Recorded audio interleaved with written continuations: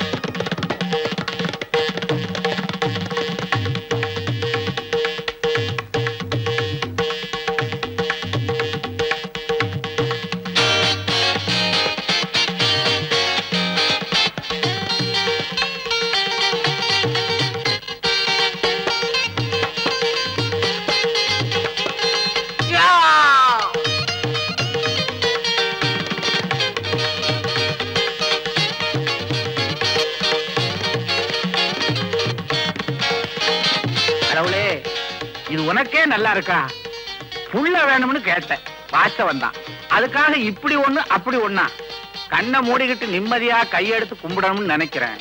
ஆனா இந்த பசங்க ஒவ்வொரு நாளும் காதை பொத்திக்கிட்டே கும்பிட வைக்கிறானுங்க. என்னைக்கு தான் என்ன கையெடுத்து கும்பிட வைப்ப. இந்த அநியாயத்தை நீ கேட்க மாட்டியா? ஏங்க இப்படி காலங்காத்தால புலம்புறீங்க? விக்னேஸ்வரா வித்தியாசமா நினைக்காத.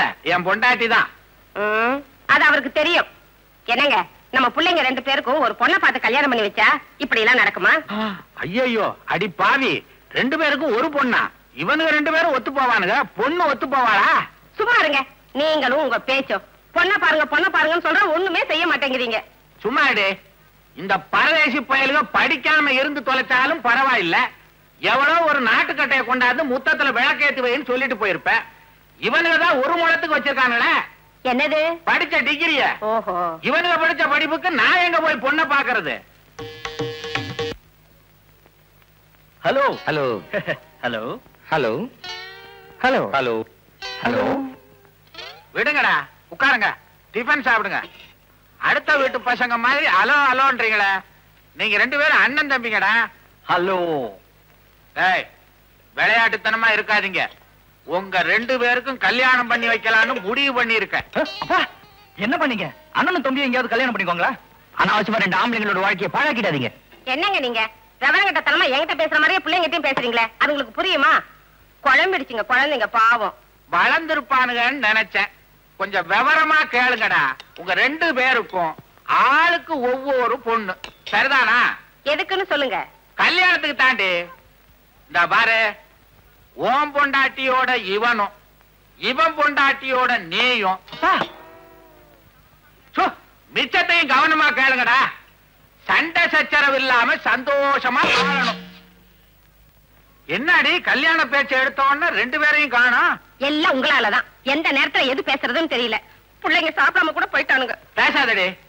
நம்ம சாந்தி முகூர்த்தத்தன்னைக்கு பாலையும் பழத்தையும் கொடுத்து என்ன முறைச்சு பாத்தியே. அப்பவே சொன்னேன் விடிஞ்சா ஆடி மாசண்டேன்னு. விட்டியா? விடல. அக்கி நட்சத்திரத்துல பிறந்து நம்மளை இப்படி ஆட்டி வைக்கிறானுங்க. ஐயோ ஐயோ. ஆனா இந்த மாசம் ரொம்ப நல்ல மாசண்டி ரொம்ப. பார்வதி? நமஸ்காரம் அண்ணா. நமஸ்காரம். நான் தான் ஐயம்பேட்டை சங்கீத சபா செக்ரட்டரி. என் பேரு பாலு. ம். சாரு தான் பிரசிடென்ட் நமஸ்காரம். நமஸ்காரம். என்ன விஷயமா வந்திருக்கீங்க? நீங்களே சொல்லிடுங்க?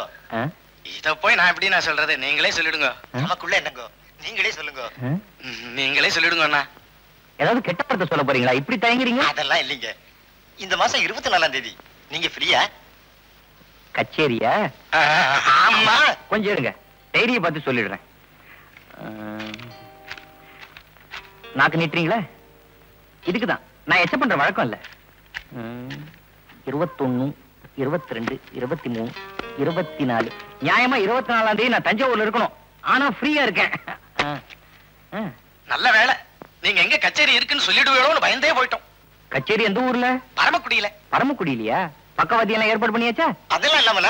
எம் எஸ் சுப்புலட்சுமி பாட்டு. மன்னார்குடி கிருஷ்ணமூர்த்தி வயலின். பல பல. பழனி பட்டு கடம். சபாஷ். பல்லாவரம் கிட்டு கெஞ்சிரா. சரியான போட்டி. சீர்காழி சிதம்பரம் மிருதங்கம். சீர்காழி சிதம்பரம் மிருதங்கமா? அப்புறம் என்ன எதுக்கே புக் பண்ணீங்க? எங்களை மன்னிக்கணும். நாங்க வந்த விஷயத்தை நீங்க தவறா புரிஞ்சுக்கிட்டு இருக்கீங்க. சீர்காழி சிதம்பரத்தோட மிருதங்கம். பிஞ்சு போச்சு. பிஞ்சு போச்சா? விட்டு போச்சுன்னு சொல்லலாம்.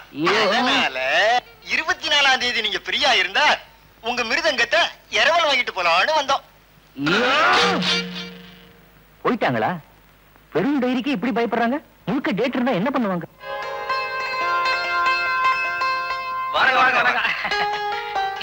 நம்ம கடையில பாஸ்போர்ட் சைஸ் படம் எடுக்கணும்னா எவ்வளவு? மூணு காப்பி பத்து ரூபா. ஃபுல் சைஸ் இருபது ரூபா. எப்ப கொடுப்பீங்க? காலையில எடுத்தா சாயந்தரம் கொடுத்துருவோம். Very good very good extra காப்பிக்கு எவ்வளவு சார்ஜ் பண்றீங்க? அஞ்சு ரூபா. உங்களுக்கு எந்த மாதிரி வேணும்? நான் படம் எடுக்க வரல சார் பஸ்ஸுக்காக காத்துக்கிட்டு இருந்தேன். பஸ் வரல. பொழுது போகல விசாரிச்சு வச்சா. எப்போது படம் எடுக்கும்போது அது பயன்படுமே. அப்படிங்கிறக்காண்டி விசாரிச்சு வச்சுக்கிறேன் போய் அப்படியே. போய்.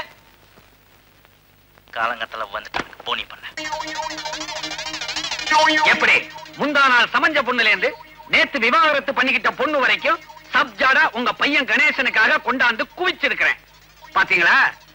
இது? நான் கல்யாணத்தை பத்தி பேசிக்கிட்டு இருக்கேன் நீங்க காலை ஆட்டிக்கிட்டு இருக்கீங்க. அறிவு கட்டவன நீ ஆட்டுறத நிறுத்தியா? பையனுக்கு பொண்ணு கேட்டா மூஞ்சி மோர கட்டையும் பாரு. ஆக்சிடென்ட் ஆன கார் மாதிரி. ஆமா நீயே முத்தம் கூட. சாரிம்மா மன்னிச்சுக்க. நீங்க ஓவரா பேசுறீங்க. தரகர் தணிக வச்சலம்னா உங்களுக்கு கிள்ளுக்கீரையா போச்சுதா உங்க பையனுக்கு கல்யாணம் ஆகலைங்கிற கவலையில என் தலைய நரைச்சிடும் போல இருக்குது. வழக்கமா புள்ள வீட்டுக்காரங்க பொண்ணை பிடிக்கலன்னு சொல்லுவாங்க. அதுக்கு நேர்மாறா பொண்ணு வீட்டுக்காரங்க புள்ளைய பிடிக்கலன்னு சொல்றாங்க. அந்த லட்சணத்துல நீங்க வளர்த்து வச்சிருக்கீங்க. இதை விட அன்னைக்கே ஒரு முழம் தள்ளி படுத்திருக்கலாம். முழமா நாங்க என்ன பூக்கார குடும்பம் நினைச்சியா? இந்த மாதிரி எல்லாம் பேசாதயா? கோவிச்சுக்கிட்டா வேலை நடக்க வேணாம் சரி அந்த பொண்ணுங்களை பிடிக்கலன்னா விட்டுடுங்க. உங்களுக்காக ஸ்பெஷலா ஒரு மூணு ஐட்டம் வச்சிருக்கிறேன். சாதாரணமா இதை நான் யாருக்கிட்டயுமே காட்டுறது இல்ல உங்க வேலையா தானே உள்ள ஒண்ணு வெளியில ஒண்ணு. காட்டியா? பொண்ணோட பூர்வீகத்தை சொல்றேன். பிடிச்சிருந்தா முடிச்சிடுவோம். கோயம்புத்தூர் பொண்ணு. பேரு அபித குஜலாம்பாள். வீடு வாசல் மனை தோட்டம் துறவு எல்லா வசதியும் இருக்கு. ஆனா அவங்க ஒரே அண்ணன் வேலூர்ல இருக்கிறான். பரவாயில்லையா? அட நீ ஒருத்தன். வேலூர்ல இருந்தான்னா மேலூர்ல இருந்தா என்ன? பொண்ணு தானே நமக்கு முக்கியம்? வேலூர்ல கலெக்டரா இருந்தா சொல்லி இருக்க மாட்டேனே. கடை வச்சிருக்கானா? கடையில திருடிட்டு கம்பி எண்ணிக்கிட்டு இருக்கிறேன் கோவிச்சுக்கிட்டா எப்படி?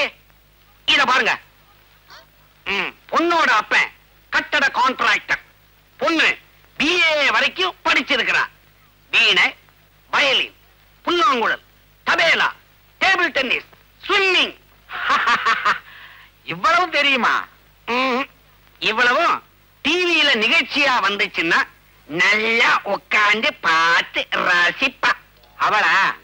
அரஞ்சண்ணா ஆனா நீங்க ஒண்ணு மிஸ் பண்றீங்க. என்னத்த மிஸ் பண்றான்? இதுக்கு முன்னால இதை எவனாவது பார்த்திருந்தா அப்படியே அள்ளி இருப்பான். ஆமா கிள்ளுவான் நான் காட்டலையே. உங்களுக்கு தான் காட்டுறேன். என்ன அது வித்தக்கார மாதிரி? பார்வதி பார்வதி. என்னங்க? இருந்தா பையனுக்கு எவ்வளவு பிடிக்கும்? யோ இந்த பொண்ணைய முடி. அதை விட எனக்கு என்ன பெரிய வேலை? ஐயா. தவறிடுச்சு. செத்து போச்சா? தவறு நடந்து போச்சுங்க. என்ன? இது என் சம்சாரத்தோட போட்டோங்க. ஏங்க வெட்டியா பேசி பொழுத போக்கிக்கிட்டு இருக்கீங்க. இந்த பாருங்க தரகர. வீட்டுல விளக்கேத்தி வைக்க அடக்கமான ஒரு பொண்ணை கொண்டு வாங்க அது போதும். சுவிட்ச் போடுற மாதிரி ஒரு பொண்ணு கிடைச்சா? சரி வேணா விட்டுருங்க. மொத்தத்துல மகாலட்சுமி மாதிரி ஒரு பொண்ணை பாரியா? கவலையே படாது.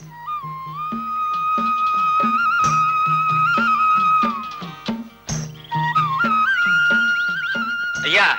இந்த ஊரு பச்சை பசேல்னு வளப்பமா இருக்குது. பேசாம பொண்ணை இந்த ஊர்லயே தேடுவோம். தப்பில்ல. தேடு தேடு. அம்மாடி ஒன்னதான் இந்த ஊர்ல கல்யாணத்துக்கு ஏதாவது பொண்ணுங்க நிக்குதுங்களா? நிக்குதுங்களாவா? இந்த ஊர்ல ஜனத்தொகையே ஆயிரம் பேரு. அதுல பொம்பளைங்க எழுநூறு பேரு ஆம்பளைங்க முன்னூறு பேரு. என்னங்க இது? பொம்பளைங்க எழுநூறு ஆம்பளைங்க முன்னூறா? என்ன செங்கமலம்? சும்மா தானே இருக்க? வாயா அப்படி தோப்பு பக்கம் போய் டீ சாப்பிடுவோம். ஆ, அந்த பக்கம் போனா என் வீட்டுக்காரர் இருப்பாரு. அப்படின்னா இந்த பக்கம் வேணாம் வா அந்த பக்கம் போவோம். ம். என்னங்க இது? வளர்த்த கட்ட ஊரா இருக்கு? இந்த ஊர் சரிப்பட்டு வராது. வாங்க வேற ஊருக்கு போலாம்.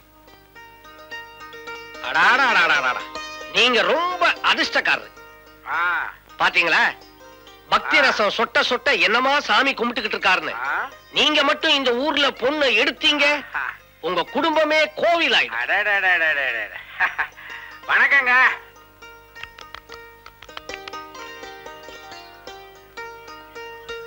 இவர் முகத்துல என்ன களை பாத்தியா இந்த ஊர் மரங்களை பார்க்கலையே. இன்னும் கலையா இருக்கும். அம்மா தாயே. அடாடாடாடா. இந்த மண்ணோட மகிமைய பாத்தியா என்னங்க நம்ம இந்த ஊர்லயே பொண்ணை பாத்துருவோம் ஏங்க நாங்க இந்த ஊருக்கு புதுசு இந்த மண்ணோட மகிமைய பத்தி உங்களால சொல்ல முடியுமா? சொல்றேன் சொல்றேன். இந்த மகிமைய மடியில வச்சிருக்கிறாரா? அவரு பெரிய பக்திமான் உடம்பெல்லாம் மகிமை. அதான் தடவுறார். தாய் மரியாதையா வச்சிருக்கிற மொத்த பணத்தை எடுங்கடா. பார்வதி நல்ல வேலை தங்க நகைய போட்டு வராம கவரிங் நகைய போட்டு வந்ததுனால தப்பிச்சோம். அடப்பாவி இவ்வளவு நேரம் பக்தியா சாமி கும்பிட்டியே? கும்பிட்டு தான் கொள்ளை அடிக்கிறது. நல்ல பழக்கம். ஏய், மரியாதை எடு. எடுத்து கொடுங்க. வந்த ஊர்ல மமகாரம் எதுக்கு? நீ ஏன் இது பண்ற? அந்த ஆளே சும்மா இருக்கா? என்னங்க? சீக்கிரமா பணத்தை கொடுங்க. நமக்கு எதுக்குங்க வம்பலாம் யாருக்கு வம்புன்னு கொஞ்ச நேரம் பொறுத்து பாரு. ஆட்டமா? இன்னும் கொஞ்ச நேரத்துல ரொம்ப ஆடி கீழே விழுந்துருவேன். இந்தா புடி.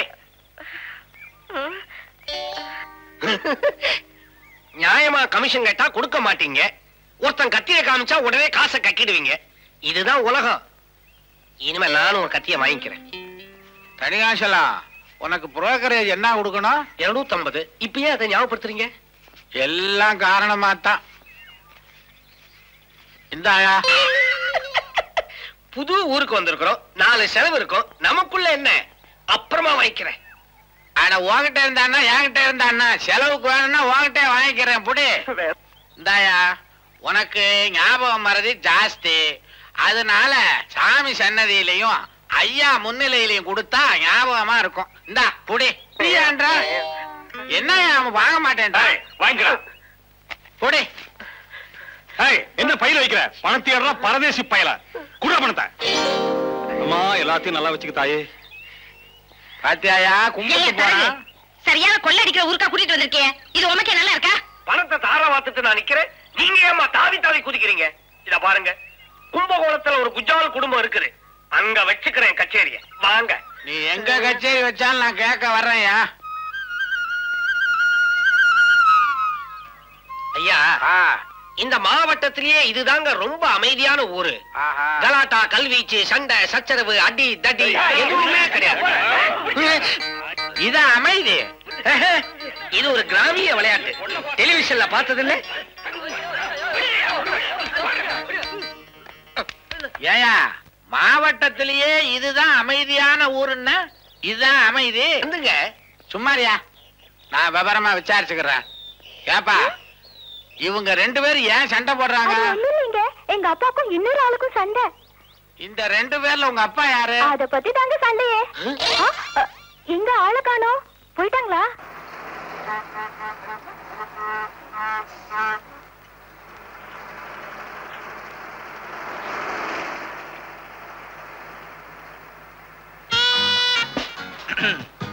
வா சார் இந்த இடம் காலியா இருக்கு. உட்காரு. உட்கார. இந்தப்பா இது லேடிஸ் சீட்டு எழுந்துரு.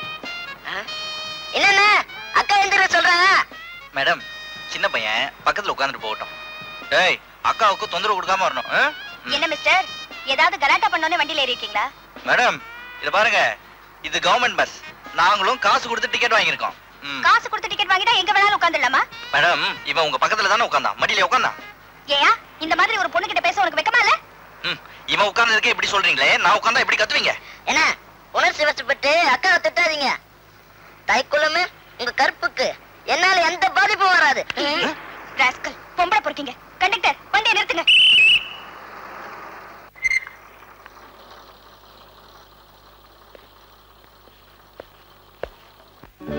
புதுவாய்க்கா தண்ணி போல பொங்கி வரும் பூவையரே.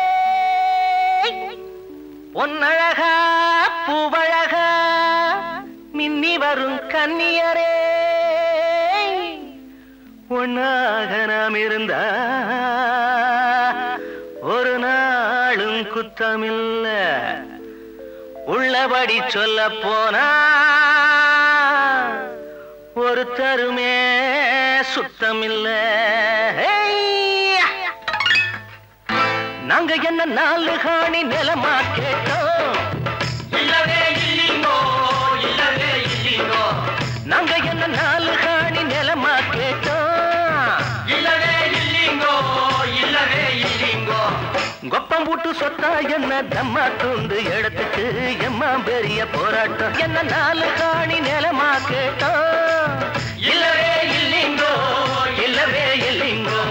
கொப்பம் விட்டு சொத்தா என்ன தம்மா துண்டு எடுத்துட்டு எம்மா பெரிய போராட்டம்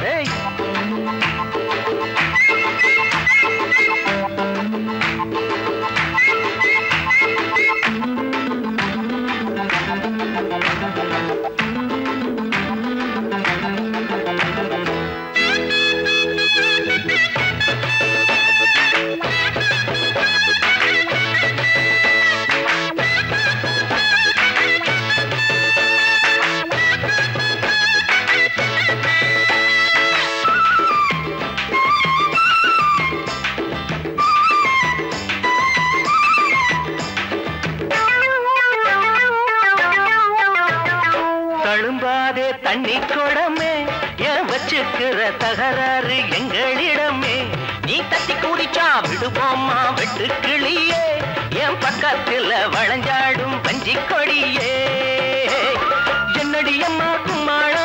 எப்படி உங்க கண்ணாளா? மாப்பிள்ள நந்தா மங்காத்தா? மாமியா தாண்டி உங்காத்தா? வருஷம் பிறந்தா வருஷத்தை வேண்டி நாங்க என்ன நாலு காணி நிலமா கேட்டோம்.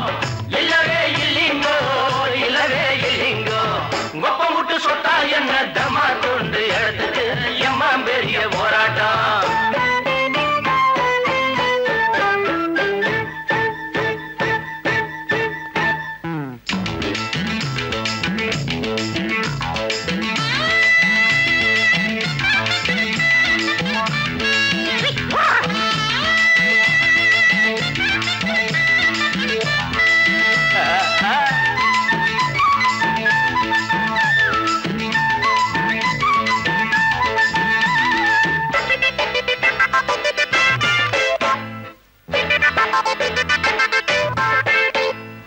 தினந்தோறும் மஞ்ச குளிக்க நீ சம்மதிச்ச வருவேண்டி அம்மி அரைக்க.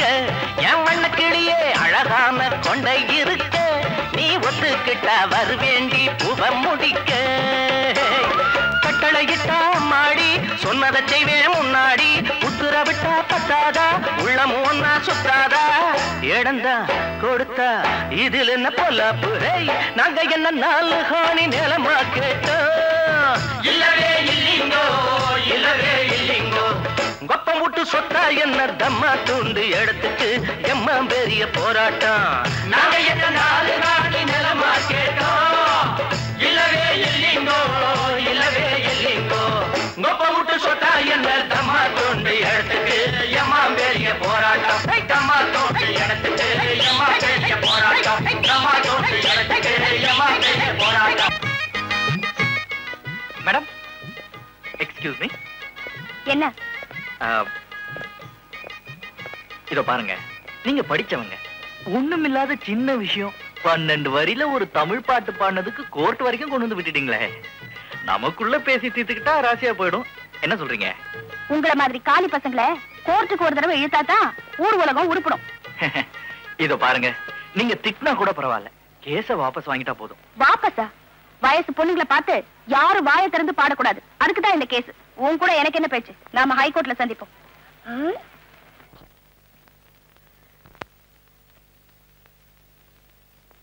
ம்ஹும். ம்.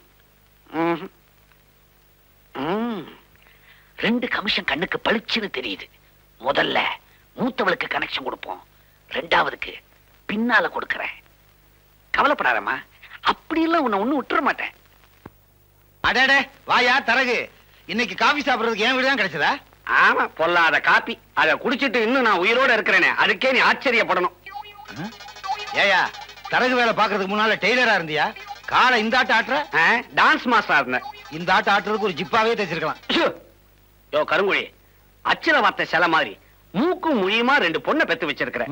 அதுங்களுக்கு நல்ல இடத்துல கனெக்ஷன் கொடுக்கணுங்கிறதுக்காகத்தான் நான் இப்ப வந்தேன். கனெக்ஷனா இது என்ன பவர் ஹவுஸா இப்படி கிண்டலா பேசி பேசி உன் பொண்ணுங்க கிழவிங்கள் ஆயிட போகுது. அட போயா. இப்படித்தான் போன தடவை ஒரு மாப்பிளைய கூட்டிட்டு வந்து அஞ்சு அடி ஆறங்குளம் இருப்பான்னு சொன்னேன். அவனை பார்த்தா இவ்வளவு உயரத்துல இருக்கான். அஞ்சடி ஆறங்குளம்னு நான் அகலத்தை சொன்னேன். நீ உயரம்னு எடுத்துக்கிட்டா அதுக்கு நான் என்ன பண்ண முடியும்? அப்படியா? இத பாரு. இப்போ அழகு அறிவு அந்தஸ்துன்னு ஐட்டம் வாரியா பசங்களை பிரிச்சு கூறு போட்டு வச்சிருக்கிறேன். மீன் கடை மாதிரி. இந்த தஞ்சாவூர் பண்ணைய பத்தி நீ என்ன நினைக்கிற? செத்து போயிட்டாரு. இருந்த போது? பயங்கரமா தண்ணி அடிப்பாராமே. தொழில் விவசாயம் நீர் பாசனம் இருக்கத்தான் செய்யும். அதுல பாரு அவருக்கு ஒரே ஒரு பையன். பண்ண செத்ததுக்கு அப்புறம் அஸ்திய கரைச்சான். இப்ப ஆஸ்திய கரைச்சுக்கிட்டு இருக்கான். நல்ல பசவுள்ள இடம். உள்ள இடமா? எங்கேயாவது போஸ்டர் ஓட்டுறதுக்கு அனுப்பு. சு. ஆமா கையில என்ன கொடுப்ப? புதுசா என்னையா கொடுக்க போறேன்?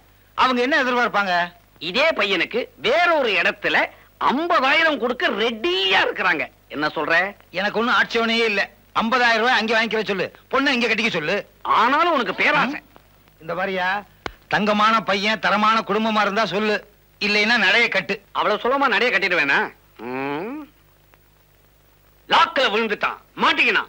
பரமசிவன் பார்வதி. ரெண்டு பசங்க. மூத்தவன் கணேசன் இளையவன் முருகன். எப்படி? கணேசன் பழத்தை எடுத்துக்கிட்டான் முருகன் கோவிச்சிட்டு போய் மொட்டை அடிச்சுக்கிட்டு பள்ளியில உட்காந்துட்டான் இந்த திருவிளையாடல் விளையாட்டுல எங்கிட்ட வச்சுக்காத. நான் சொல்ல வந்தது பட்டணத்துல உள்ள பரமசிவன் ஃபேமிலி மூத்தவன் கணேசன் மிருதங்க வித்வானா இருக்கிறான். இளையவன் முருகன் போட்டோ ஸ்டுடியோ வச்சிருக்கான் அதிகமா எதிர்பார்க்காத அடக்க ஒடுக்கமான ஃபேமிலி பேசாம அதுல கலந்துரு. நான் நினைச்ச மாதிரியே அமைஞ்சு போச்சு. யோ பொண்ணை பாக்குறதுக்கு புறப்பட்டு வர சொல்லு.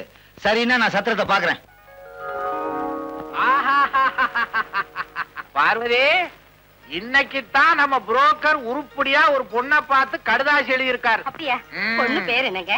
கருங்குழி. கருங்குழியா? ஆ ஐயோ அது ஊரு பேரு. ஆமா குடும்பம்லாம் எப்படிங்க? அக்கா தங்கச்சிங்க ரெண்டு பேரா? அவங்க ரெண்டு பேருக்கும் ஒரே அப்பா அப்படியா? இன்னும் கேளு பெரிய இடம். எக்கச்சக்கமான நில போலாம். பெரியவ பேரு ராஜி. அவளைத்தான் நம்ம பையன் கணேசனுக்கு பார்த்திருக்காரு. அட அது இருக்குதுங்க. கல்யாண பேச்சு எடுத்தாவே நம்ம புள்ள காதை பொத்திக்கிட்டு ஓடுறான். அவளை கூட்டிட்டு போய் எப்படிங்க பொண்ணு பாக்குறது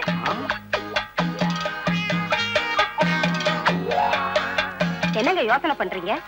இந்த பாருடி பையன் வரும்போது நான் பேசுறதே நீயும் பேசு. உண்மைய பேசினா காரியம் கட்டுடும். மூச்சு விட மாட்டேன். பையன் வரான் பையன் வரான்.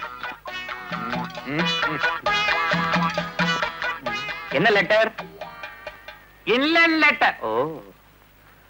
பார்வதி கருங்குழி பண்ணையார் வீட்டு கல்யாண கச்சேரிக்கு ஏற்கனவே ஒரு மிருதங்க வித்துவான ஏற்பாடு பண்ணி இருந்தாராம் அவன் சமயத்துல கால வாரிட்டானா உங்களுக்கு யாரையாவது தெரியுமான்னு எனக்கு கடுதாசி எழுதியிருக்காரு.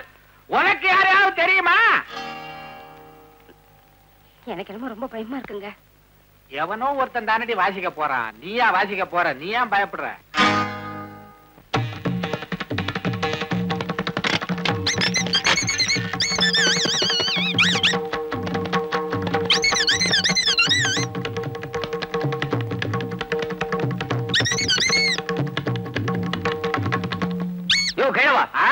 உடல் பொருள் ஆவி அத்தனையும் மிருதங்கத்துக்காகவே அர்ப்பணிச்சுட்டு ஒரு ஜீவன் இங்க இருக்கிறது உனக்கு தெரியலையா? ஏற்காடுல இருந்துகிட்டே ஏசி ரூம் கேக்குறியே. கையில வெண்ணெய் வச்சுக்கிட்டு நெய் கலையலாமா? வெண்ண பழசுடா. புதுசா ஏதாவது சொல்லு. மந்திரியை வச்சுக்கிட்டே மெடிக்கல் காலேஜ் சீட் தேடுற மாதிரி. இது நல்லா இருக்கு. அப்பா பண்ணையார் வீட்டு கச்சேரிக்கு நான் தான் வாசிப்பேன். என்னை விட்டுட்டு வேற யாராவது மிருதங்க வாசிச்சாங்க? ரத்த ஆடு ஓடும் பயங்கர ரகலிய நடக்கும். அப்புறம் என்னடி உனக்கு சந்தோஷம் தானே? ரொம்ப சந்தோஷங்க. இருந்தாலும் கொஞ்சம் பயமா இருக்கு. என்னம்மா பயம்? நான் உன் பையன். எப்படி வாசிக்கிறேன் பாரு? நீ வாசிக்கிறது தான் அவளுக்கு பயம். பார்வதி என்னது? அல்வாவை அசைக்கவே முடியலையே. ஊத்துடி ஆ. இது உங்களுக்கே நல்லா இருக்கா? கோதுமையில தான் அல்வா பண்ணுவாங்க. யாராவது இப்படி கோந்த கொட்டி கொட்டி அல்வா பண்ணுவாங்களா? அடி விவரம் கட்டவள நம்ம பையன் கணேசன் ஒரு மாதிரி.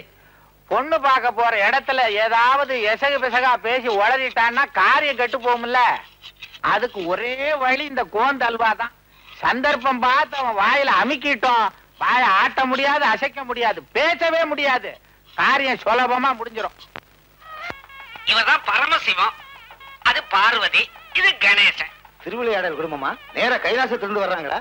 கழுத்துல பாம்ப காணா? கழுத்துல கிடையாதுங்க இங்க இருக்கு. பயப்படாதீங்க இது மருந்து எனக்கு ஒரு டவுட் இந்த இடத்துலயா கச்சேரி என்ன? பையன் கச்சேரி கிச்சேரிங்கிறான் பையனுக்கு கலை பைத்தியம். பைத்தியமா? இவர் ஒரு பைத்தியங்க. இவர் பைத்தியமா? கலையில ஒரு இது. இவன் ஒரு பைத்தியங்க. கலையில ஒரு இதுன்னா உங்களுக்கு எப்படி புரியும்? அவ்வளவு ஆர்வம். அடே அடே, இத புரிஞ்சுக்கல பாருங்க. நான் ஒரு பைத்தியம். ஆ, அட இவன் ஒருத்தன் பிரிக்கட்டா விரிக்கட்டான்னு. பாடுற பொண்ணு வரட்டும்டா. தரகு டிஃபனை கொண்டு சொல்லு. வந்த உடனே சீனியா ஏன் பறக்குறீங்க? அதாவது பறக்கிறேனா? நான் என்ன பெனாலி குடும்பமா? என் பையனை கச்சேரின்னு பொய் சொல்லி பொண்ணை பார்க்க அழைச்சிட்டு வந்திருக்கேன் ஐயா அங்க ஏன் பாக்குற முதல்ல டிஃபன் கொண்டு சொல்லு. இது அதுக்குள்ள இடைச்சேறுகள் மாதிரி சொருகிடுவேன். என்னடாப்பா? எது? என்னடா மரியாதை குறையுது? என்ன டப்பான்னு? கோந்து அல்வாயா? என்னது பாம்பு கொட்டிய திறக்கிற மாதிரி உஷு புஷுன்ற இந்த கன்றாவிய தின்னா வாயெல்லாம் ஒட்டிக்குமே என்ன திறக்கும்னு நான் சொன்னேன்? இது யார் வாயை மூடுறதுக்கு? என் பையன் வாயையா? எதுக்குன்னு? ஐயோ என் பையன் பிறந்ததுல இருந்து உனக்கு கதையெல்லாம் சொல்லணும். நம்ம இந்த விஷயம் பேசி முடிக்கிற வரைக்கும் அவன் திறக்கப்படாதியா வாய? இந்த ஐடியா எனக்கு முன்னாலேயே தெரியலையே. தெரிஞ்சிருந்தா இதை வச்சு பல கல்யாணங்களை முடிச்சு கமிஷன் அள்ளி இருப்பேனே. இப்போ ஒண்ணு கெட்டு போகலையா? இதுல மிச்சம் விழுகும். அதை எடுத்து கொண்டு போய் கொடுத்துட்டு அள்ளு. கிழவா அப்பா யார் பாட போறாங்க? எல்லாம் இன்னும் கொஞ்ச நேரத்துல தெரியும்டா யாரு பாட போறா யாரு பதற போறான்னு கொஞ்சம் பொறுத்து இருந்து பாரு. ஆ. கான்டாக்ட் படி டிஃபன். முக்கியமா அல்வா. கமிஷன் அப்புறம் தர்றேன் டிஃபனை கொண்டு வர சொல்லுங்க. வந்த உடனே தீனியா? ரொம்ப மோசமான குடும்பமா இருக்கும் போல இருக்கு. மிலிட்டரிக்கார குடும்பம். வேளா வேலைக்கு வெட்டிட்டு வாங்குவா பேசிட்டு டிஃபன் பண்ணுவோம்யா? டிஃபனை கொண்டு வர சொல்லுங்க. அல்வா மெயின் இருக்கணும். அல்வாவை வரதட்சணை மாதிரி கேக்குறானுங்க. அம்மா!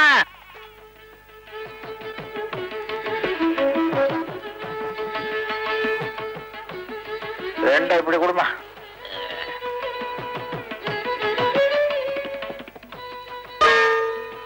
எதுக்கு ரெண்டு தட்டு எடுத்தீங்க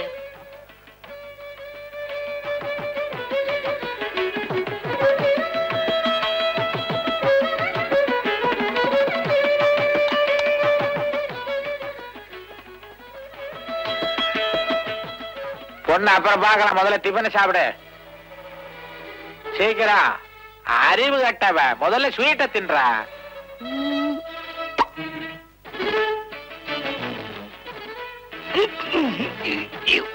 சபாஷ் சரியான அல்வா. ஒட்டிக்கிச்சா? அப்பா இதுக்காக நான் எவ்வளவு பாட்டில் குழந்த ஊத்துனேன்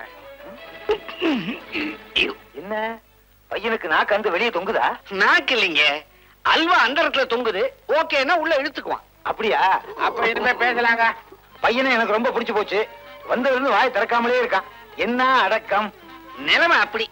இன்னும் கொஞ்ச நேரத்துக்கு அப்படித்தான் இருப்பான். எதுக்கும்? பொண்ணு ஒரு வார்த்தை கேட்டுடுங்க. அம்மா பையனை பிடிச்சு போச்சா?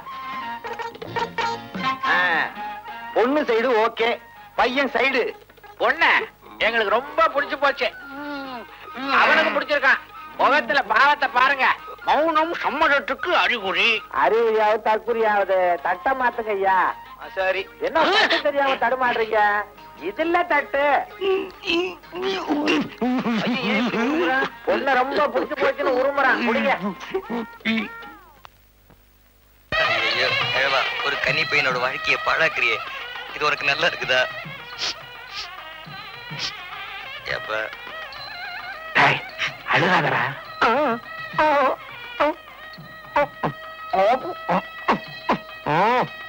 யோ என்னய்யா? நீயே எழுதிக்கிற நீயே அழிச்சுக்கிற? அது ஒண்ணும் இல்ல. பையனுக்கு ஒரு குஜால் ஏத்திக்கிட்டு இருக்கிறேன். ஆ ஏத்து ஏத்து. கண்ணத்தோட. சரி காட்டு. அந்த பக்கம் பார்த்து சரி. ஆமா பையன் என்ன? சொல்லி சொல்லி செய்யற மாதிரியே இருக்கு. ஐயர் சொல்றாரு அவன் செய்யறான். ரொம்ப வேதனையா உட்கார்ந்திருக்கான். அவன் முகமே அப்படித்தானா? இன்ப அதிர்ச்சி. தனக்கு இவ்வளவு சீக்கிரம் கல்யாணம் நடக்கும்னு அவன் எதிர்பார்க்கவே இல்ல. ஏ கிழவா இப்படி கத்தி மனையில புள்ளை கல்யாணம் பண்றியே. நீ நல்லா இருப்பியா? என்னோட கண்ணீர் உன்னை சும்மா விடாது. ஆவியா சுத்தம். டேய் உன் கண்ணீர் என்ன வெந்நீரா? அதுல இருந்து ஆவியா வந்து எங்களை சுத்துறதுக்கு சத்தம் போட்டு பேசாதடா வாய மூடு. பேசுன? பேசினா? ஒரே குத்து சதக் சதக். ஒரே குத்துல எப்படி ரெண்டு சதக் வரும்? டேய் இதெல்லாம் வழக்கமா சொல்ற வார்த்தை பேசாம அங்க பாரு.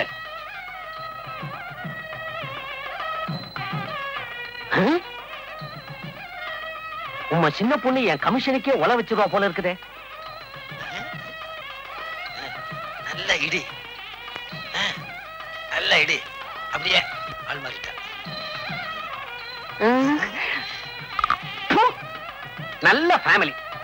மாதிரி நாலு குடும்பம் இந்த ஊர்ல இருந்தா போதும். நீங்க எங்களுக்கு தேவையே இல்ல. பிறகு என் சின்ன பொண்ணையும் இவங்களோட கலந்து உனக்கு ஏதாவது அறிவு இருக்குதா? இன்னும் முத கல்யாணமே முழுசா முடிஞ்ச பாடில்ல அதுக்குள்ள ரெண்டாம் தாரமா? இவன் தம்பிக்கியா? ஓ. மாப்பிள நான் சொல்ற மந்திரத்தெல்லாம் ஒவ்வொன்னா திருப்பி சொல்லுங்க. யோ ஒரு உயிரை காப்பாத்தின புண்ணியம் உனக்கு இருக்கட்டியா. சீக்கிரம் பொண்ணை கூப்பிடு. அதுக்குள்ள ஏன் அவசரப்படுறீர்கள்? யோ உன்னிடுப்புலயும் கத்தி வச்சா என்னோட அவசரம் உனக்கு புரியும். தம்பி எல்லா காரியமும் முறைப்படிதான் செய்யணும். ஆ, விட்டாக்க எனக்கே காரியம் பண்ணிட்டு வாங்கியா? சீக்கிரம். இந்த கல்யாணத்துக்குன்னே கத்தி வாங்கினியா? பழசுதான் சாண பிடிச்சேன் சம்மந்தி செலவுல.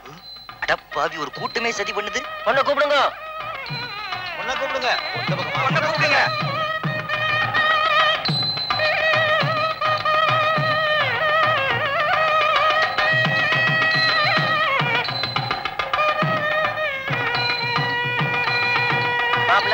தாலி எப்படிங்கண்ணா கெட்டி மேலும் கெட்டி மேலும்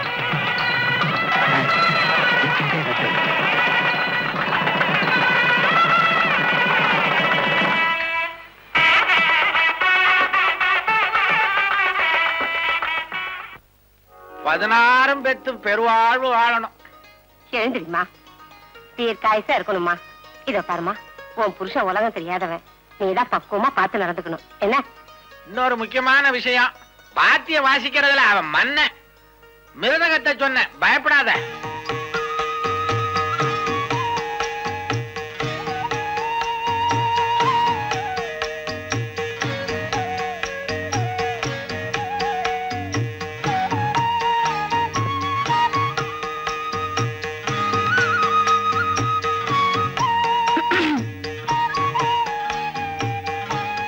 சிக்னல் கொடுக்க வேணாம். வந்திருக்கிறது. புரியுது. வா. ஒருத்தர் ரூமுக்குள்ள வரும்போது கதவை தட்டிட்டு தான் உள்ள வரணும். அதுதான் மேனஸ் தெரியுதா? கையில என்ன? பால் அத்தை கொடுத்து அமிச்சாங்க. ம், எல்லா ஃபர்ஸ்ட் நைட்டுக்கும் பால் தானா? ராஜி உட்கார் ராஜி உன் பேர் என்ன?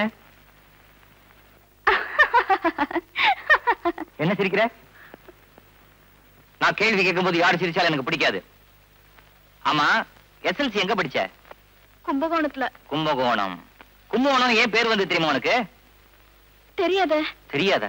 ச்சே உங்ககிட்ட கேட்டு தெரிஞ்சுக்கலான்னு பார்த்தேன். எனக்கும் தெரியாது. பரவாயில்ல. பியூசி எங்க படிச்ச? திருச்சியில. பியூசி திருச்சியில. எஸ்எல்சி கும்பகோணத்துல. ஏன்? ஸ்கூலுக்கு ஃபீஸ் பாக்கியா? அப்புறம் எங்க படிச்ச? அண்ணாமலை என்ன படிச்ச? MSc mathematics MSc mathematics. பதினாறாம் வாய்ப்பாடு தெரியுமா? சிக்ஸ்டீன் இன்டு த்ரீ எவ்வளோ பதினேழு பதினெட்டு பத்தொன்பது தெரியலன்னா விடு. சரி அழாத. அடுத்த கேள்வி ரொம்ப சிம்பிளா கேக்குறேன். ஒரு எலக்ட்ரிக் ட்ரெயின் காலையில ஏழு மணிக்கு தாம்பரத்துல கிளம்புது. இன்னொரு எலக்ட்ரிக் ட்ரெயின் காலையில ஏழரை மணிக்கு பீச் ஸ்டேஷன்ல இருந்து கிளம்புது. ரெண்டு ரயிலும் நுங்கம்பாக்கத்துல எத்தனை மணிக்கு சந்திக்கும்? இந்த கேள்விக்கு மட்டும் பதில கரெக்டா சொல்லிட்ட? சொல்லிட்டா? அடுத்த கேள்வியை கேட்பேன்? என்ன? என்ன தேடுற? ஐயோ! என்ன பதில் சொல்லாம குப்புறப்படுத்திட்ட இந்த வீட்ல எப்படி படுத்தாலும் ஒண்ணுதான். எப்படி படுத்தாலும் ஒண்ணா? அப்பா டாடி நைனா ஏய் கிழவா. கிழவா. யோ கிழவா. தலையை காணுமே. யோ கிழவா எழுந்திரியா. என்னைய காலை இங்க வச்சிட்டு இருக்க பின்ன என்ன பீரோவுல கொண்டு போய் வைக்கவா? இதுல ஒண்ணும் குறைச்சல் இல்ல. உள்ள ஒருத்த வாழ்வா சாவான் போராடிட்டு இருக்கா? கண்ணை மூடிட்டு ராத்திரில என்னைய தூக்கம்? ராத்திரில தான் தூங்கணும். பகல்ல தூங்கினா மூதேவி இல்லடா சொல்லுவாங்க மூதேவி. ஆமா என்ன விஷயம்? யோ நான் உனக்கு என்னையா பாவம் பண்ணேன் உங்ககிட்ட எனக்கு என்னையா பேச்சு? குடியிருந்த கோயில் எங்க? குடியிருந்த கோயிலா? அது கபாலி தேட்டர்ல ஓடுது. நான் குடியிருந்த கோயில் எங்கயா நீ குடியிருந்த கோயிலா? இந்தா புலியபராவளி மாதிரி தூங்குத. அம்மா அம்மா ஏந்துருமா என்னடா? உன்னோட சீமந்த புத்திர சிக்கல்ல மாட்டிக்கிட்டான். என்னடா இது ராத்திரி நேரத்துல வந்து நொய்யி நொய்யின்னு? நான் உன்னை கல்யாணம் பண்ணுவேன்னு கேட்டேனா? சத்திரம் சல்லுசா கிடைச்சதுன்னு பண்ணி வச்சோம். யோ கழவா கம்முன்னு இருக்க மாட்டியா? தள்ளிசா கிடைச்சா சனியனை கட்டி வச்சிடுறதா? தனியனா யாரடா சொல்ற? அவனை தாண்டி சொல்லிக்கிறான். யோ நீ சும்மாவே இருக்க மாட்டா? அம்மா இந்த குடும்பத்துல எப்படி வேணாலும் படுக்கலாமா? டேய், அது அவங்க அவங்க இஷ்டம். நான் படுத்திருக்கிறத பாரு. குறுக்க வந்து குழப்பத்தை உண்டு பண்ணாத. அம்மா உன் மருமக சொல்றா எப்படி வேணாலும் படுக்கலாமா? அதுக்கு என்ன அர்த்தம்? அத உன் நைனா கிட்ட போய் கேளு. போ. இதையா? யோ கழவா யோ. தூங்கிட்டியா? இரு எழுப்புறேன். ஓ,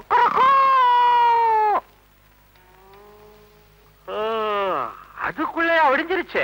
யோ நான் உனக்கு என்னையா பாவம் பண்ண? அடாடா என் பையனோட குரல் இன்னும் என் காதுல ஒலிச்சுக்கிட்டே இருக்கு. கிழவா. பொழுது விடியட்டும். பேசிக்கிறேன்.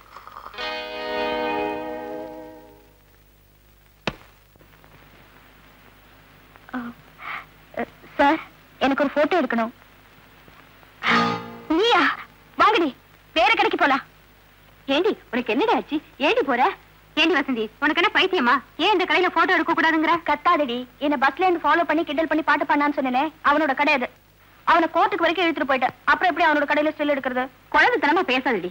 இந்த இடத்த பொறுத்த வரைக்கும் அவன் கடைக்காரன் நீ கஸ்டமர் அவ்வளவுதான். இன்னைக்கே போட்டோ எடுத்து இன்னைக்கே பிரிண்ட் பண்ணி கொடுக்குற இடம் இது ஒண்ணுதான். இதையும் வேணாலும் உன் வேலை அம்பாதான் போடி உள்ள போடி. வேணாண்டி. போடினா? ஒரு என்னடி நீ? போடி. யோ விடுங்கடினா வாங்க. வாங்க பழசெல்லாம் மறந்துடுங்க இது தொழில் விஷயம்.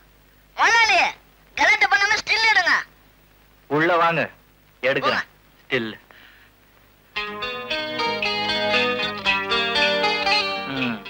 அப்படியே இருங்க.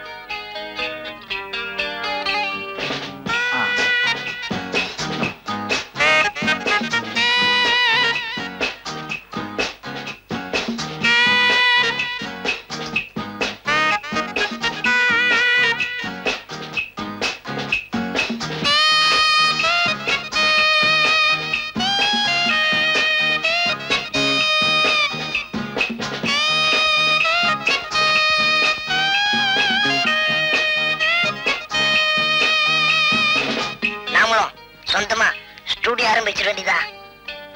என்னடா முணங்குற? ஒன்னில ஆயிரம் ஆயிரம்.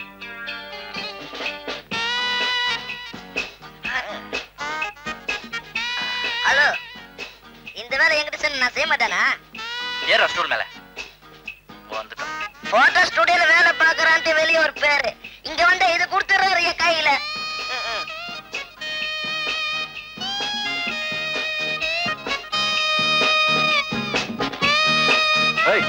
ம். ஏய் நெட் ஒழுங்கா படுறா பிடிக்கிறேன்ல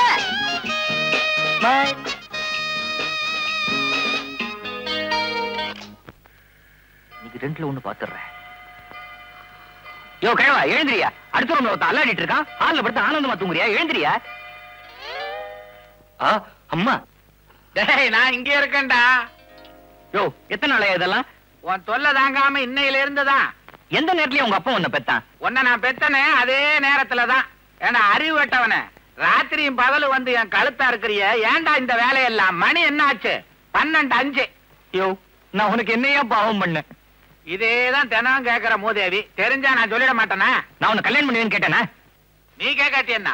உன் தம்பி கேட்டானே எப்ப கல்யாணம் எப்ப கல்யாணம்னு? அப்ப அவனுக்கு தானே கல்யாணம் பண்ணி வைக்கணும்? எனக்கு ஏன் பண்ணி வச்சீங்க? ஏண்டா இப்படி ராத்திரி நேரத்துல வந்து தொல்லை பண்ற? இப்ப என்னடா ஆச்சு? அம்மா இப்படி வாமா என்னோட மானம் மரியாதை அந்தஸ்து கௌரவம் தூக்கம் எல்லாம் போச்சு. கதவை பூட்டித்தானே படுத்திருந்த. அது எப்படி போகும்? அப்பா நீ பொறுக்கி. என்ன சொன்ன? விவரமா கேளு. பொறுக்கிறது இல்லடா விவரம்.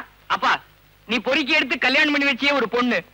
அந்த பொண்ணு பெட்ரூம்ல என்ன பார்த்து கடப்பாற மாதிரி ஒரு வார்த்தையை சொல்லிட்டாப்பா. என்னடா சொன்னா? அத நான் எப்படிம்மா சொல்லுவேன்? சொல்லி தொலைடா. சொல்றேன். அது என்ன அங்க கைய விடுற? சாக் பீஸ் இதெல்லாமா பெட்ரூம் கொண்டு போன? இது கட்டில். இவ்வளவு பெருசா? இங்க அவ படுத்திருந்தா. இங்க நான் படுத்திருந்தேன். ஆ. என்ன திரும்பி படுன்னு சொல்லிட்டாப்பா. அப்படியா சொன்னா? ஆமாம்மா அவ கூட நான் எப்படி வாழறது? இனிமே அவளுக்கு எனக்கு ஒட்டும் இல்ல உறவும் இல்ல. நான் வாழா வெட்டியாவே இருந்துட்டு போறேன். நான் வரேன். ஏமா ராத்திரி என்ன நடந்துச்சு? ஏன் கணேஷ் அப்படி கத்தனா அது ஒண்ணும் இல்லத்த ராத்திரி பக்கத்துல படுத்திருந்தாரு. திடீர்னு மூக்குப்படி போட ஆரம்பிச்சிட்டாரா எனக்கு அந்த நெடி ஒத்துக்கல. கொஞ்சம் திரும்பி படுங்கன்னு சொன்னேன். அவ்வளவுதான். அதுக்கு போய் கோச்சிட்டு வெளியே படுத்துட்டாரு. ராஜி சின்ன வயசுல இருந்தே அவன் குணம் அப்படிதான். நீ தான் அவனை கொஞ்சம் கொஞ்சமா திருத்தி உன் வழிக்கு கொண்டு வரணும். என்ன? வசந்தி ஒரு நிமிஷம். என்ன? ஏண்டி பெருசா நான் அப்படி ட்ரெஸ் பண்ண மாட்டேன் இப்படி ட்ரெஸ் பண்ண மாட்டேன் கண்ணகி மாதிரி பேசுனியே. இப்ப என்னடி சொல்ற? என்னடி சொல்றீங்க? என்னடி புரியலையா? நாங்க வர வழியில பிளாட்பாரத்துல இந்த கால்ற கூவி கூவி வித்துட்டு இருந்தான். போய் பார்த்தா ஓ படம். அதுவும் எப்படி? என்னடி மூடி மறைச்சு பேசுறீங்க? நாங்க ஒண்ணும் மூடி மறைச்சு பேசல. நீ மூடி மறைக்காம கொடுத்த போஸ் இதுல இருக்கு. நீயே பாரு. இந்த படம் எப்படி வீதிக்கு வந்ததுன்னு எனக்கு தெரியும். அந்த போட்டோ ஸ்டுடியோ காரனே. என்ன செய்யறேன் பாரு.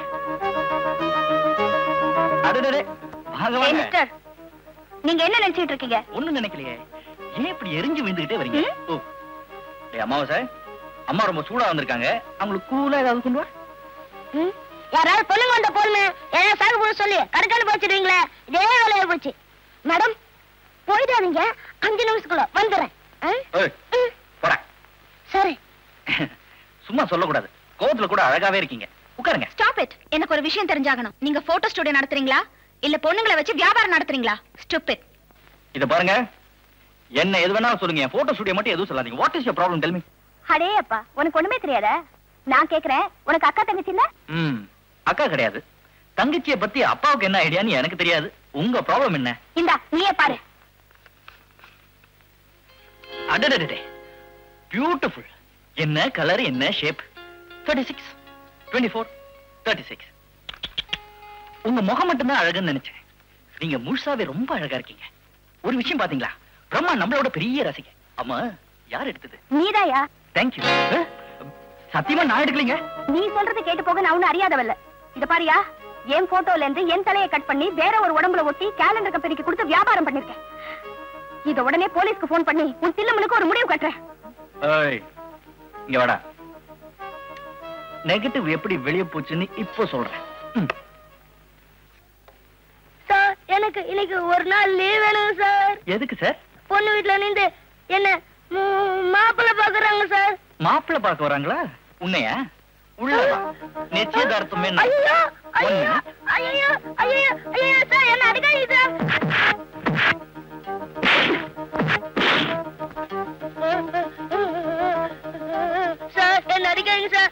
உண்மையா சொல்லிடுறேன். ஒரு நாள் அந்த பொண்ணோட மாமான்னு சொல்லிட்டு ஒரு ஆள் வந்தார் சார். என்கிட்ட நூறு ரூபாய் கொடுத்துட்டு அந்த நைட் எல்லாம் வாங்கிட்டு போயிட்டார் சார். அந்த நூறு ரூபாய் எனக்கு வேண்டாம். உங்க கையிலே கொடுத்துறேன். அந்த ஆள் எப்படி இருப்பான்?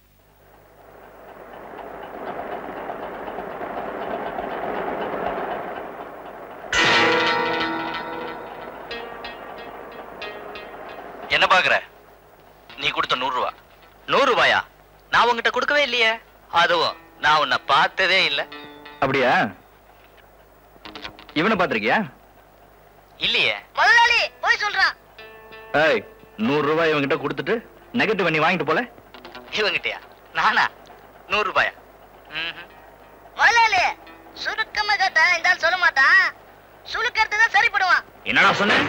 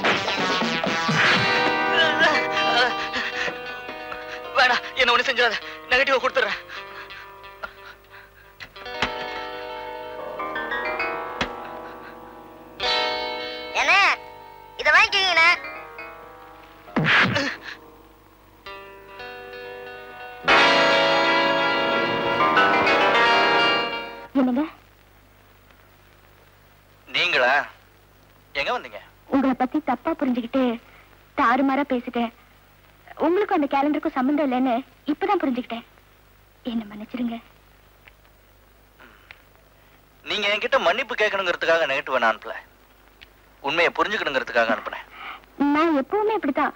அவசரப்பட்டு ஏதாவது பேசிடுவேன் பின்னால வருத்தப்படுவேன். என்ன மன்னிச்சிட்டேன்னு சொல்லுங்க. சொல்லிட்டீங்கல்ல? புறப்படுங்க நான் உங்ககிட்ட ஒண்ணு கேக்குறேன். தப்பா நினைக்க மாட்டீங்களே. என்னது? உங்களுக்கு அப்பா அம்மா இருக்காங்களா? வாட் அப்பா அம்மா இருக்காங்களான்னு கேட்டேன். அப்பா அம்மா இல்லாமல பிறப்பாங்க? ரெண்டு பேரும் இருக்காங்க. போதுமா?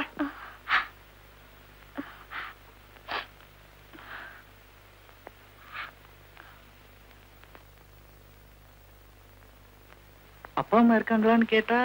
போயிட்டா?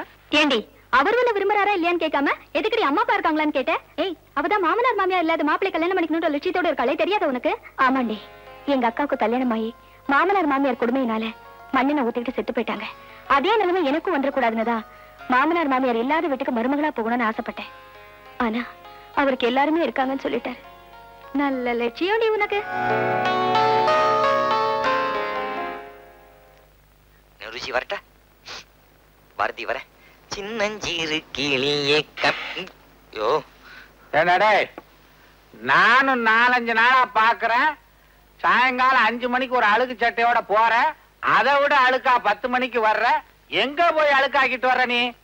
எல்லாம் என் தலையெழுத்து. நீ போக வேண்டிய இடத்துக்கு நான் போயிட்டு வரேன். கோவில்ல வாரியார் கம்பராமாயணம் சொல்றாரா அதை கேட்டு வரதுக்காக போறேன். அட மூதேவி நம்ம ராமாயணமே பெருசா இருக்கு. உனக்கு ஏன்டா கம்ப ராமாயணம் ஆ, போற வழிக்கு புண்ணியம் கிடைக்குமே தான் யோ கிழவா பொண்ணத்தாயா வளர வேண்டிய ஒரு கலைஞனோட வாழ்க்கையை சூன்யமாக்கிட்டல்ல? என்னோட ஆண் பாவம் சும்மா விடாது. ஆண் பாவத்தை பத்தி என்கிட்ட சொல்றியா? உன்னை பெண் பாவம் சும்மா விடாதடா. நானும் தெரியாம தான் கேக்குறேன்.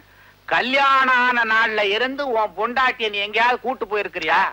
ஆனா பக்கத்து வீட்டு பரமசிவம் தினம் கூட்டு போறான். என் பொண்டாட்டியா? மூதேவி அவன் பொண்டாட்டியடா. டேய் இன்னைக்கு நீ கதா காலட்சேபம் கேட்க போக கூடாது இல்ல நான் போய் தான் ஆகணும். வாரியாட்ட நான் சொல்லிக்கிறேன். உன் பொண்டாட்டிய கூட்டிட்டு நீ சினிமாவுக்கு போ. ராஜே இங்க வா. வராத. என்ன? என்ன விளையாடுறியா? என்ன மதிக்காத அவளை நான் ஏன் மதிக்கணும்? நான் அவளை வெளில எங்க கூட்டு போக முடியாது. இன்னைக்கு நீ கூட்டு போல இந்த வீட்டு வாசப்படிய மிதிக்கப்படாது. வாமா நீ. வாமா இவங்கிட்ட எல்லா விஷயத்தையும் விவரமா சொல்லியிருக்கேன். சந்தோஷமா போயிட்டு வா. ஓ தயார் நிலைமையில வந்திருக்கியா? நீதான் இந்த கிழவங்கிட்ட சொல்லி சினிமாக்கு ஏற்பாடு பண்ணியா? யாரா கலவ சினிமாக்கு தானே கூட்டு போனோம்? சினிமாக்கு கூட்டு போறேன். வா. ஆனா போற வழியில பயங்கர ரகள் இருக்கு. டிக்கெட் வாங்கணும். ரகலகல பண்ண. ஆளை வச்சு அடிப்பேன் படவா. அழுக்க மூட்டை வராண்டா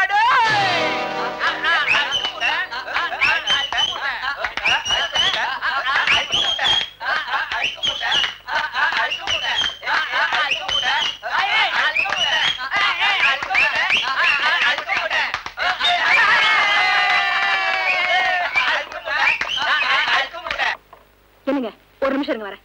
அவங்க இந்த பேட்டையிலேயே பயங்கரமான ரவுடிங்க. தினமும் இந்த பக்கம் வர ஆம்பளைங்களை கிண்டல் பண்றதே அவங்களுக்கு வழக்கமா போச்சு. வா போலாம். ஐயோ ஏன் இப்படி பயந்து சாவறீங்க? ஒரு நிமிஷம் இருங்க என்னன்னு கேட்டு வரேன். வேணாம் அப்புறம் அவங்க கை கால் நீட்டினாங்க. என்ன நடக்கும்? விடுங்கண்ணா அழுக்கு மூட்டை. அழுக்கு மூட்டை. அழுக்கு மூட்டை. அழுக்கு மூட்டை. சொன்னா கேட்க மாட்டாளே. உதவ என்னதான் தெரியும். எனக்கு அடிக்க தெரியாதா? நான் ஏன் சும்மா இருக்கேன்?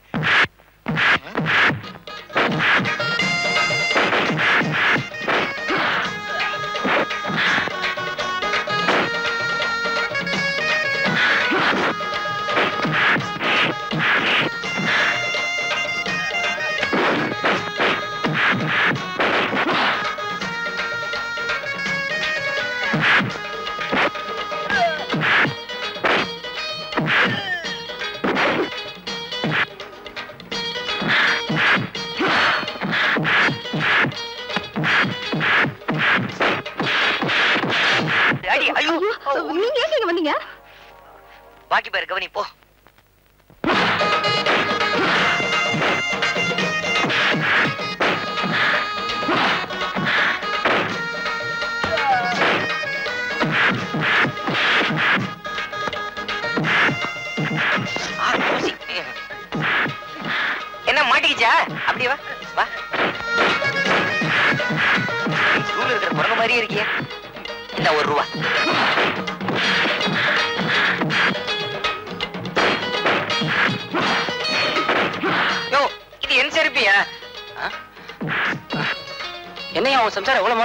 எனக்கே இப்பதான் தெரியும். போ வரா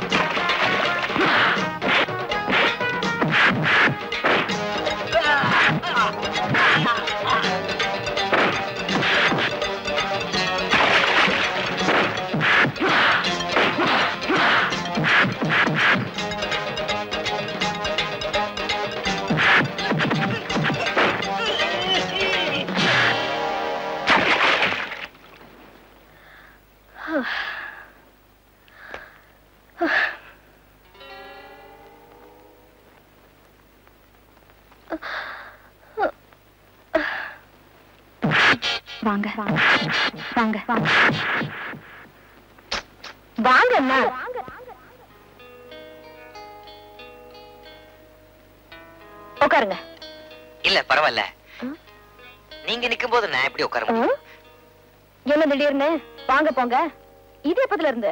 நீங்க சண்டை போட்டீங்களே அத பார்த்ததுல இருந்தாங்க. ரொம்ப பயங்கரமா சண்டை போடுறீங்க. உங்களுக்கு சின்ன வயசுல இருந்தே இந்த பழக்கம் உண்டாங்க? அது வந்துங்க சின்ன வயசுல இருந்தே ஆம்பளைங்களுக்கு ஒரு கஷ்டம்னா நான் பார்த்துட்டு சும்மா இருக்க மாட்டேன். அப்படியே பொங்கி எழுந்துடுவேன். ஏன். பயந்துட்டீங்களா? இவ்வளவு பொங்கினா யாரு தாங்க பயப்பட மாட்டாங்க? கேக்குறேனேன்னு தப்பா நினைக்காதீங்க. நான் கூட உங்ககிட்ட பல தடவை சண்டை போட்டிருக்கேன். அப்பெல்லாம் நீங்க பொங்கவே இல்லையே. அது வந்துங்க. இதுதாங்க காரணம். ஒரு பொண்ணு கழுத்துல புருஷன் தாலி கட்டிட்டா அவன் எப்படிப்பட்டவனா இருந்தாலும் அவன் அனுசரிச்சுதான் போகணும். அதனாலதான் நான் உங்க மேல கை வைக்கல. நல்ல வேளை. நம்ம ஊர்ல தாலியை கட்டினவன் எப்படிப்பட்டவனா இருந்தாலும் மரியாதை கொடுக்கணுங்கிறதுனால நாம தப்பிச்சோம். ஆக இவ கழுத்துல நான் கட்டின தாலி இருக்கிற வரைக்கும் நமக்கு உதவிடாது. நான் தைரியமா இவளை விரட்டலாம். அப்படியே நிலைமை விபரீதமா போச்சுன்னா கூட கதவு திறந்துதான் இருக்குது ஓடிடலாம். என்ன யோசிக்கிறீங்க? ஏண்டி அறிவு கட்டவளே. எத்தனை பேர் புருஷன் கூட சினிமாக்கு போறாங்க? இப்படியா நடு ரோட்ல பம்பு சண்டைக்கு போறாங்க? அது வந்து பேசாதடி. நாலு ரவுடிங்க வந்து கலாட்டா பண்ணா எனக்கு அவங்கள அடிக்க தெரியாது. நான் ஏன் சும்மா இருந்தேன்? அவங்க திருப்பி அடிச்சிருவாங்களே என்னதான்? பேசாத நீ. பொது இடம் கூட பார்க்காம பாஞ்சு பாஞ்சு சண்டை போடுற. ஃப்ளையிங் கிக்கு உன் மனசுக்குள்ள என்ன சூப்பர் சூப்பரா என்ன நினைப்பா? இத பாருங்க. சும்மா கோச்சிக்காதீங்க. நான் இவ்வளவு எதுக்காக பண்ண தெரியுமா? ஏன் பூவுக்காகவும் ஏன் பொட்டுக்காகவும் தான். அது கூட எனக்காக இல்ல. உன்னோட பூ உன்னோட பொட்டு. என்ன சுயநலண்டா இந்த பொம்பளைங்களுக்கு? எங்க அப்பா பேச்சை கேட்டு உன்னை கல்யாணம் பண்ணிக்கிட்டதுக்கு என் புத்திய கிழிஞ்ச மிருதங்கத்தால அடிக்கணும். இதுக்கு அந்த பக்கத்து விட்டு பரமசிவத்தையே சினிமா கூட்டு போயிருக்கலாம். பரமசிவம் நாளைக்கு ரெடியாரு ரெண்டு தொண்ணூறு பக்கத்து பக்கத்துல.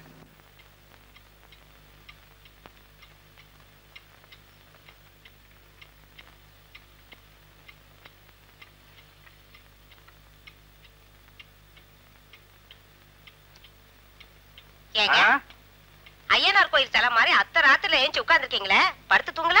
பார்வதி மணி பன்னெண்டு அடிக்க இந்த ரெண்டு நிமிஷம் தான் இருக்கு. படுத்தாலும் பையன் பாதியில வந்து எழுப்புவான். அவன் வந்து குறைய சொல்லிட்டு போன உடனே கொரட்டை விடலான்னு இருக்க அவன் ஒண்ணும் வரமாட்டான். போய் படுத்து தூங்குங்க. யோ கேளலாம் அதோ வந்துட்டானே. பாத்தியாடி பாரு. திருக்கழுக்குன்றம் கழுகாவது கொஞ்சம் லேட்டா வரும். இந்த கழுகு கரெக்டா வந்துருச்சு. அடே. உனக்கு நான் என்னடா பாவத்தை செஞ்சேன்? எனக்கு ஏன்டா மகனா வந்து பிறந்த? ஒரு நாளாவது ராத்திரில ஒழுங்கா தூங்கி ஒரு நல்ல கனவா காங்கலான்னு பாக்குறேன். விடமாட்டேன்றானே பாவி. கனவு? என்னோட கல்யாணமே ஒரு கனவா போச்சே. உனக்கு கனவு ஒரு கேடா. யோ எனக்கு ஏயா கல்யாணம் பண்ணி வச்ச? ஏண்டா? அதென்ன உனக்கு ராத்திரி பன்னெண்டு மணி ஆனா பைத்தியம் பிடிச்சிருமா? அடே அல்ப விஷயத்துக்கெல்லாம் ஹைஸ்கூல் பையன் மாதிரி ஏன்டா வந்து அழுதுகிட்டு இருக்கிற? விஷயத்தை சொல்லேன்டா யோ கம்முனரியா அம்மா நீ என்ன தத்து எடுத்தியா? இல்ல பெத்து எடுத்தியா? உன்னை தத்தே எடுத்துக்கலாம்னு தோணுது. அம்மா இன்னைக்கு அவ என்ன சொல்லிட்டா தெரியுமா? நான் கீழே தான் படுப்பேன்ட்டான். இது நியாயமா? அறிவு கட்டவன இப்படி வா. அவ சொல்றதாண்டா நியாயம். உன்னை போய் கேட்டானே. உங்க அம்மாவை கேட்டாலும் அதைத்தான் சொல்லுவா. ஓ கம்முனரியா இன்னில இருந்து எனக்கு படுக்க வெள்ளதான் அதுவும் உன் படுக்க தான். இதை எடுத்துட்டு போ. உன் சொம்புக்கு ஒல வைக்கிறேன். ஏண்டி பாரு. நம்மளை ஏன் இப்படி படாத பாடு படுத்துறான் இவனுக்கு வேண்டாதவன் எவனாவது பில்லி சூனியம் வச்சிருப்பானா? பில்லியாவது பள்ளியாவது அதெல்லாம் ஒண்ணுமே இருக்காதுங்க. வாங்க இப்பவே போய் அந்த பொண்ணை பார்த்து நறுக்குன்னு கிள்ளிடுவோமா நாலு வார்த்தை கேட்போம்னு சொல்றேன். போங்க.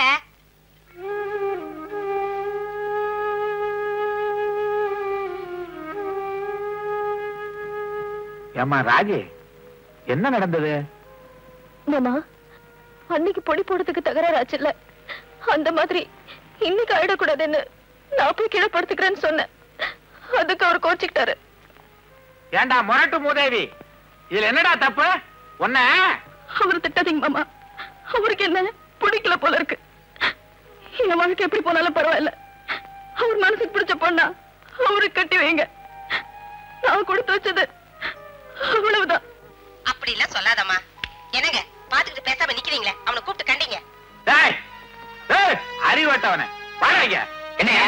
என்னையா வா பல்ல உடைச்சிருவேன் வாடகைங்க மரியாதையா? அயோக்கிய ராஸ்கல். பாடுறாங்க. யாரு பெத்த பொண்ணும் எப்படி அழுகுன்னு பாடுறா? யாரு பெத்த பொண்ணாவா? அப்ப கல்யாணத்துல தார வாத்து கொடுத்தது அவங்க அப்பா இல்லையா? பேசாதடா. குடும்பம்னா நாலும் தான் இருக்கும். நீ தான் அனுசரிச்சு போகணும். அவன் குழந்தை மாதிரி. பொம்பளை மனசு வச்சா பொங்குற பானையில கூட புதையல் எடுக்கலாமா அவனை மனுஷனாக்க வேண்டியது உன் கடமை.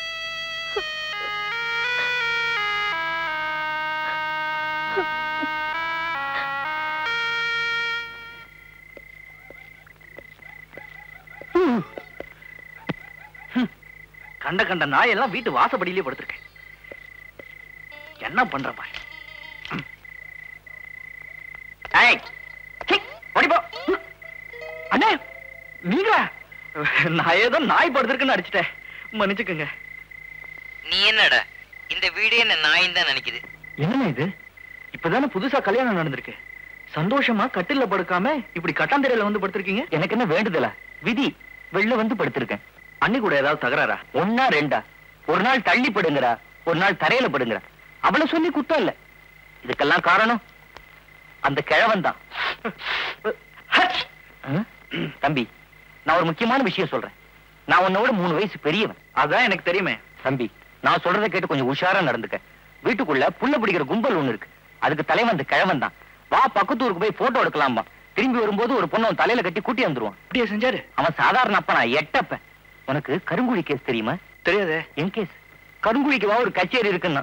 அப்புறம் பெருங்குழியில விழுந்துட்டேன்பா நீயாவது எவ்வளையாவது புச்சாலித்தனமா லவ் பண்ணி கல்யாணம் பண்ணிக்க. அந்த கிழவனுக்கு சான்ஸ் கொடுத்துறாத எனக்காவது தின்ன. நீ சான்ஸ் கொடுத்தேன்னா அவ்வளவுதான். உனக்கு நடு ரோடு தான். பார் பார்த்து புச்சாலித்தனமா நடந்துக்க. போ. தம்பி கருங்குழி கேஸ் மறந்துடாத. முருகா! என்னடா ஒரு மாதிரியா சோர்ந்து இருக்கிற? சாப்பிடலையா? விஷயத்துக்கு வாங்க. அதான் நான் சொல்ல மறந்துட்டேன். ஒரு முக்கியமான விஷயம்.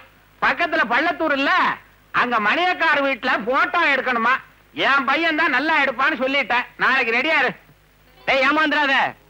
ஊர் பேரை பாத்தியா பள்ளத்தூர். எனக்காவது கருங்குழி. உனக்கு பள்ளத்தூர். இன்னும் பயங்கரமா இருக்கும். அடி செருப்பால நாய. வா. என்னால எந்த இடத்துக்கும் போட்டோ எடுக்க வர முடியாது. முடியாதுன்னா விட்டுறா அதுக்கே இந்த குதி குதிக்கிற? மணியக்கார்ட்ட சொல்லி போடுறேன் அது ஓட்டம். நம்ம சம்மந்தி ரெண்டாவது பொண்ணோட இங்க வர்றாரு. அடுத்த மாசம் முதல் தேதி உனக்கு நிச்சயதார்த்தம் பண்ணலாம்னு இருக்க டேய் வரதட்சணைக்கு ருசி கண்ட பூனை.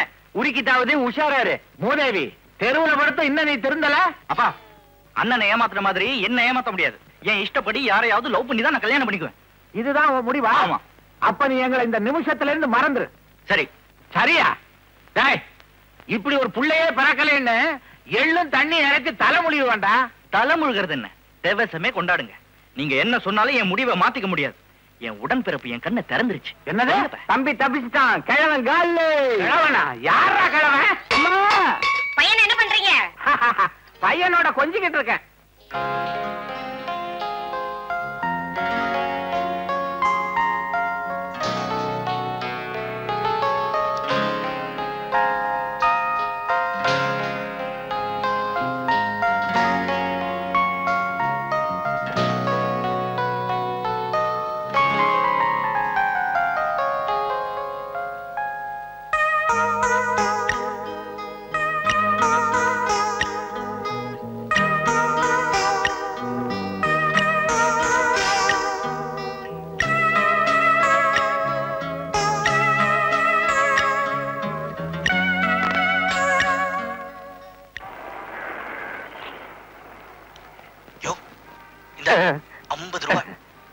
எல்லாத்தையும் செஞ்சிருவல?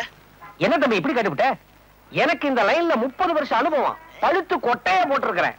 அந்த பொண்ணு வரட்டும். பாத்துடுறேன் ஒரு கை. பெரிய இருக்கு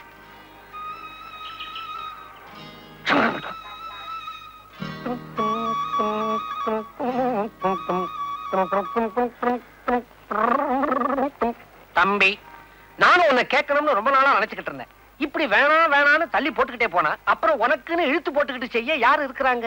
சார் எனக்கு கல்யாணம் அவசியமா? நீங்களே சொல்லுங்க. ஆ, அப்போ? கல்யாணமே வேணாங்கிறியா? சரி விடு ம். தம்பி நீ ஒரு அனாதை. ரெண்டு தடவை சொல்ல சொல்றியா? தம்பி நீ அப்பா அம்மாவே இல்லாத ஒரு அனாதை. சார் என்ன அடிக்கடி அனாதை அனாதைன்னு சொல்லாதீங்க. ஏன்? எனக்கு அழுக வருது. கண்ட இடத்துல கண் கலங்க கூடாது பப்ளிக் பலவீனமா நினைப்பாங்க. நீ அனாதையா பிறந்ததுக்காக பணாத மாதிரி அழுவணுமா?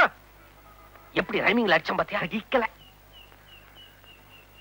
சார் என்ன மாதிரி ஒரு அனாதையை கட்டிக்கிறதுக்கு யார் முன் வருவாங்க? தம்பி நீ சொல்றது வாஸ்தவம் தான் வீடுனா ரெண்டு பெரியவங்க இருக்கணும். ஆனா உன் வீட்டுல ரெண்டு மண்டைய போட்டுடுச்சுங்க. ஆனா ஒண்ணு மட்டும் சொல்றேன். ஒவ்வொரு கிழமையும் உன் இளமைய தின்னுகிட்டு இருக்கு ஜாக்கிரதை. நான் வர்றேன். மிஸ்டர்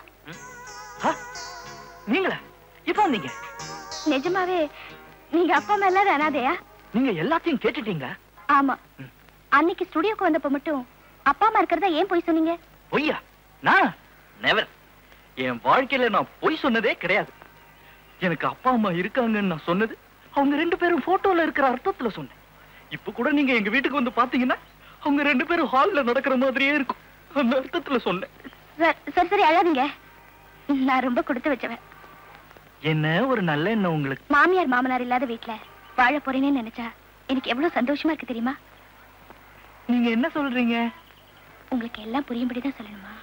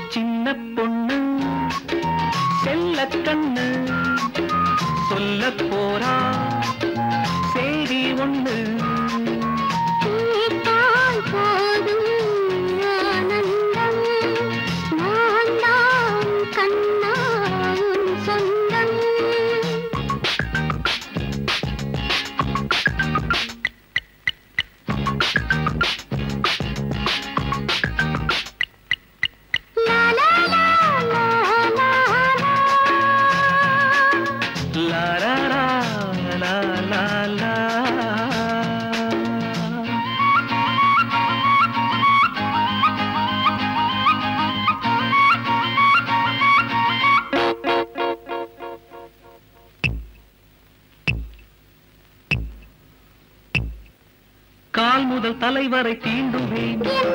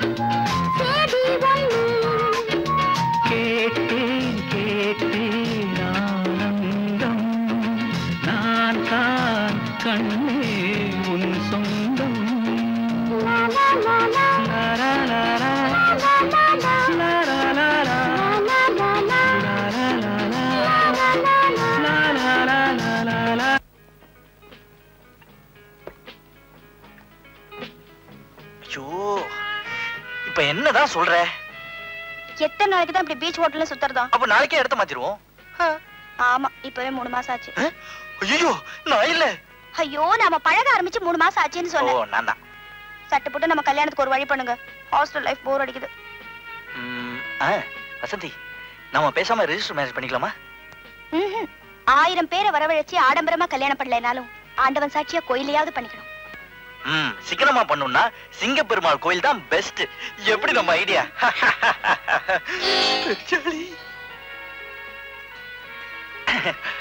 வசந்தி எனக்கு கொஞ்சம் சரி போயிட்டு தேங்க்யூ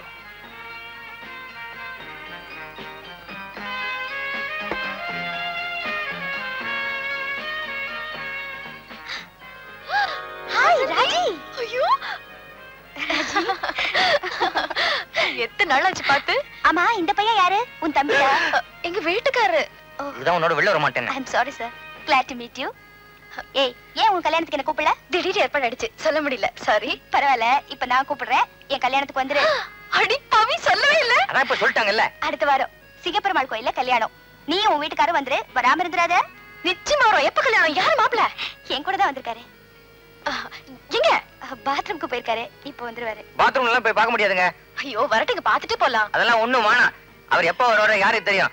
எல்லாம் கல்யாணத்துல பாத்துக்கலாம் இருங்களே பாத்துட்டு போயிடலாம். ஏங்க அதுக்குள்ள மாப்பிளி மாத்திருவீங்களா? கல்யாணத்துல பாத்துக்கிறோம் வா போலாம். வரேன் ஓகே கழுத. பாய் பாய் ம், அப்பா. போய் தொலைஞ்சான் பெருச்சாளி. நல்ல வேலை. போலாமா? ஓ எஸ் நீங்க போனதுக்கு அப்புறமா என் ஃப்ரெண்ட் வந்திருந்தா. அவளை நம்ம கல்யாணத்துக்கு வர சொல்லிருக்கேன் ம், எங்க போனாலும் விட மாட்டாங்களே வா வா வேற யாரும் வரத்துக்குள்ள போயிடலாம்.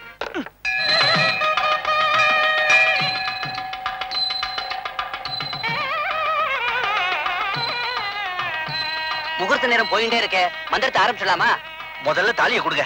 அப்புறமா தனியா உட்கார்ந்து மந்திரத்தை சொல்லுங்க. இன்னும் என் ஃப்ரெண்ட்ஸ் எல்லாம் வரல. அவங்க எல்லாம் வந்ததுக்கு அப்புறம் தான் கல்யாணம் என்ன நீ? நான் என்ன புதுசா காலையா தாலி கட்ட போறேன். கழுத்துல தானே கட்ட போறேன். வந்து பாத்துக்கிட்டு நீங்க கொடுங்க. மூணு முடிச்சு தானே போட போறீங்க? அதுக்கு எவ்வளவு நேரம் ஆக போகுது? கொஞ்சம் பொறுமையா இருங்க. அவங்க எல்லாம் அவங்க எப்ப வந்து நான் எப்ப தாலி கட்டுறது? உன் வேலையை காமிச்சிட்டல. செத்த இருங்கோன்னா இதை வந்துடுறேன். யோ அங்க என்ன?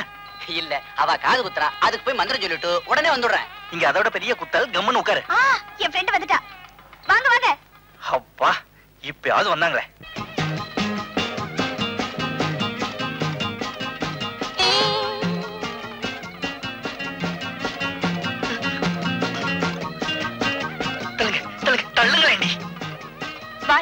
உனக்காக வெயிட்டிங் சாரிடி கொஞ்சம் லேட் ஆயிடுச்சு.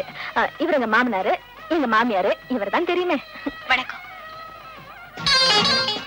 டியரஸ்ட் ஃப்ரெண்டோட கல்யாணம் எல்லாரும் வரணும்னு ஒரே ஆட்டம் சரின்னு டாக்ஸி வச்சுட்டு வந்தோம். நாற்பது ரூபா ஐம்பது பைசா. அடச்சே வா.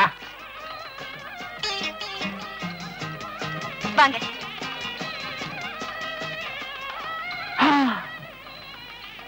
ராஜி என்னது உன் சிநேகிதி இவ்வளவு வயசான ஆளை கல்யாணம் பண்ணிக்கிறான் ஒருவேளை ரெண்டாம் கல்யாணமா இருக்கும்? ஐயோ சும்மா இருங்க. புரோகிதருங்க. புரோகிதர இந்த வயசுல உனக்கு ரெண்டாம் தாரமா? நீங்க வேற கல்யாணம் பண்ணி வைக்கிற புரோகிதர். அப்ப மாப்பிள்ளை யாரு? புத்தி மாதிரி ஓடிட்டாரு. ஏய் மாப்பிள்ளைங்கடி இங்கதானே இருந்தாரு? சிங்க பெருமாள் சாமி நீ தான் என்ன காப்பாத்தணும். உய், பேசாத. ஒண்ணு விடுவேன்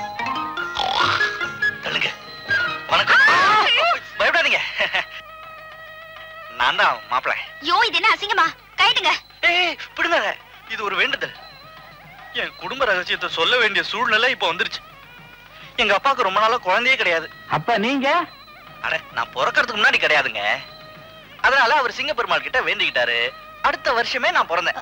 எங்க வீட்ல எந்த நல்ல காரியம் நடந்தாலும் இத போட்டுக்கிறது வழக்கம். இவ்வளவு நேரம் சும்மா தானே இருந்தீங்க? இப்ப எதுக்கு மோமுடி? இவங்களெல்லாம் பார்த்த அப்புறம் தானே எனக்கு ஞாபகமே வந்துச்சு.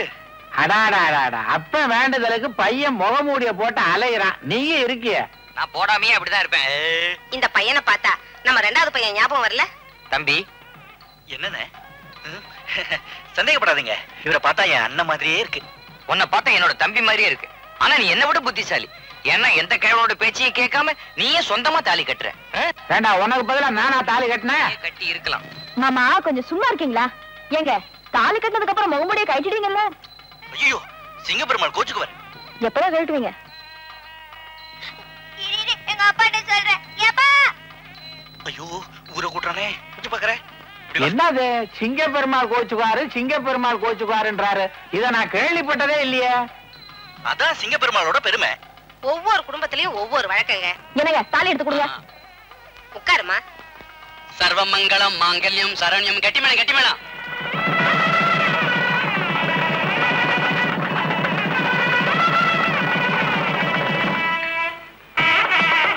ராஜி? ராஜி? ராஜி? ராஜி! ஏன் சத்தம் போடுறீங்க? இப்ப என்ன? என்ன இது? சட்டை. நான் தான் துவைச்சேன். அத கேக்கல. யார் இந்த சட்டையை தோச்சது அழுக்கா இருந்ததுங்க தான் துவைச்சேன். யார கேட்டுட்டு நீ தோச்ச அழுக்கா இருந்தா தோச்சிருதா பல வருஷமா அப்படியே வச்சு இந்த சட்டைய ஒரே நாள்ல தோச்சு வெளுத்துட்டியடி. கேவலம். இந்த அழுக்கு சட்டை துவைச்சதுக்கு என்னமோ பெருசா அழுத்துக்கிறீங்களா. இந்த சட்டை உனக்கு கேவலமா போச்சா? என்னோட கொள்கை லட்சியம் எல்லாமே இந்த சட்டையில தான் இருந்தது. அத்தனையும் பத்து பைசா சவுக்காரத்தை போட்டு கரைச்சிட்டியடி பாவி. காமராஜர்னா முழங்கை வரைக்கும் சட்டை நெருஜினா நெஞ்சுல ரோஜா. அதே மாதிரி எனக்கு அடையாளமா இந்த ஒரே அழுக்கு சட்டையை வச்சிருந்தேன். அதை தம்மா துண்டு சவுக்காரத்தை வாங்கி கரைச்சிட்டியடி பாவி. எந்த புருஷ சட்டையாவது பொண்டாட்டி துவைக்கலாமா? ஏங்க இந்த மாதிரி அநியாயம் உங்க யார் வீட்லயும் நடக்குமா? சொல்லு. மன்னிச்சிடுங்க. நீங்க இந்த சட்டை மேல இவ்வளவு உயிரை வச்சிருப்பீங்கன்னு தெரியாதுங்க. உனக்கு தெரியாது? உனக்கு நிஜமாவே ஒண்ணும் தெரியாது இல்ல இப்போ சொல்றேன் கேட்டுக்கடி. இந்த சட்டைய பழைய மாதிரி நீ அழுக்காக்கி கொண்டு வரல? என்ன பண்ணுவேன்னு எனக்கு தெரியாது. புடி! போ! சோப்பு நாத்தம்.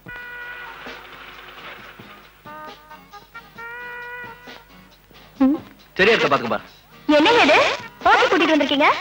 நம்ம ஃபர்ஸ்ட் நைட்டுக்கு இதை விட நல்ல இடமா கிடைக்காது. பேசாம. ஐயோ வேணாங்க. எனக்கு இந்த மாதிரி இடத்துக்கு நான் வந்து பழக்கம் இல்ல. நான் மட்டும் என்ன தினமும் வந்துட்டு இருக்கேன் அனாவசியமா டைம் வேஸ்ட் பண்ணாத. Come on sir yes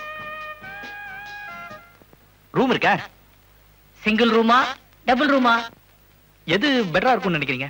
one minute உங்களுக்கு டபுள் ரூம் தான் பெட்டரா இருக்கும். இதுல உங்க பேரு விலாசம் எல்லாத்தையும் எழுதுங்க.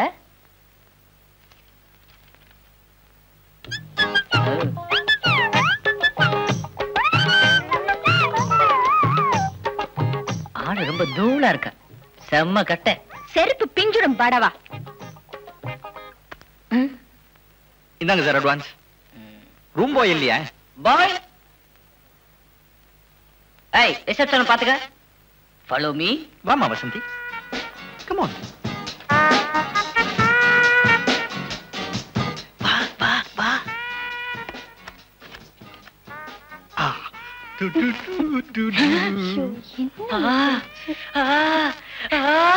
என்ன குரல் மாதிரி இருக்கு என்னத்த தின்ன நான் அங்க இருக்கேன் போகல குழந்தை வேணுமா வேணாமான்னு சொன்னீங்கன்னா நான் போயிடுவேன் குழந்தையா ஆமாங்க மூணு மாச குழந்தை ஆறு மாச குழந்தைன்னு சைஸ் வாரியா பிரிச்சு வச்சிருக்கேன் பாருங்க இதுக்கு தான் இந்த மாதிரி ஹோட்டலுக்கு எல்லாம் வரவேணாம்னு சொன்னேன் கேட்டீங்களா நேரம் கட்ட நேரத்துல இவன் வேற போட வெளியே சரி இதை வேற ஜோடிக்கு தள்ளிடுறேன்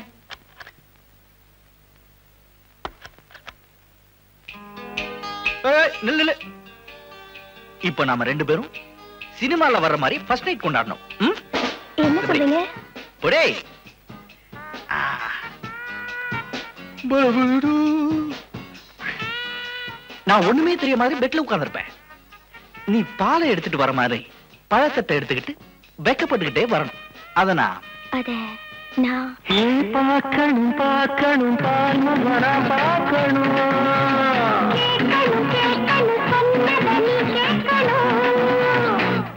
தூங்காதம்மா என் தேகம்தான்.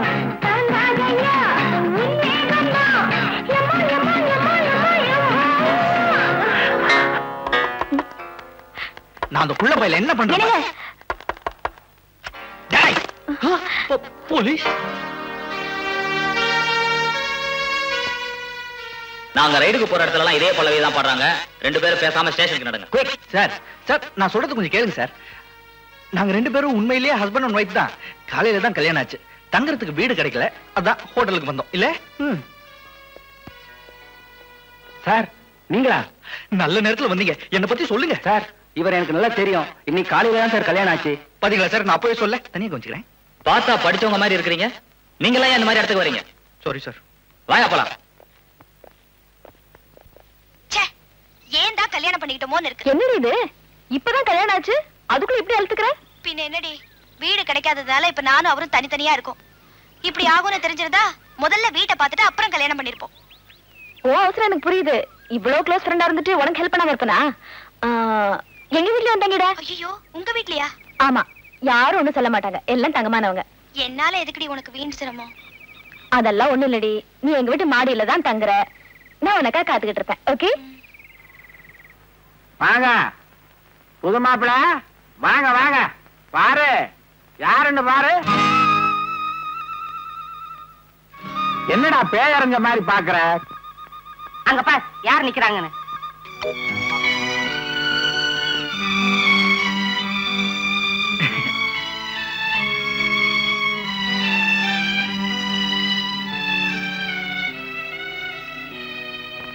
என்ன மன்னிச்சிரு. எனக்கு கிடைக்கணுங்கிற ஆசையில தான். எனக்கு அப்பா அம்மா இல்லைன்னு பொய் சொல்லிட்டேன். அப்பா நீங்களும் என்ன மன்னிச்சிருங்க. நீங்க ரெண்டு பேரும் இல்லைன்னு இவகிட்ட நான் பொய் சொல்லிட்டேன். முண்டா நீ சொன்னா நம்பிடுவாளா? ஏமா உன்கிட்ட இவன் என்னதான் சொன்னா? அத்தானுக்கு எப்பவுமே குறும்புதான்.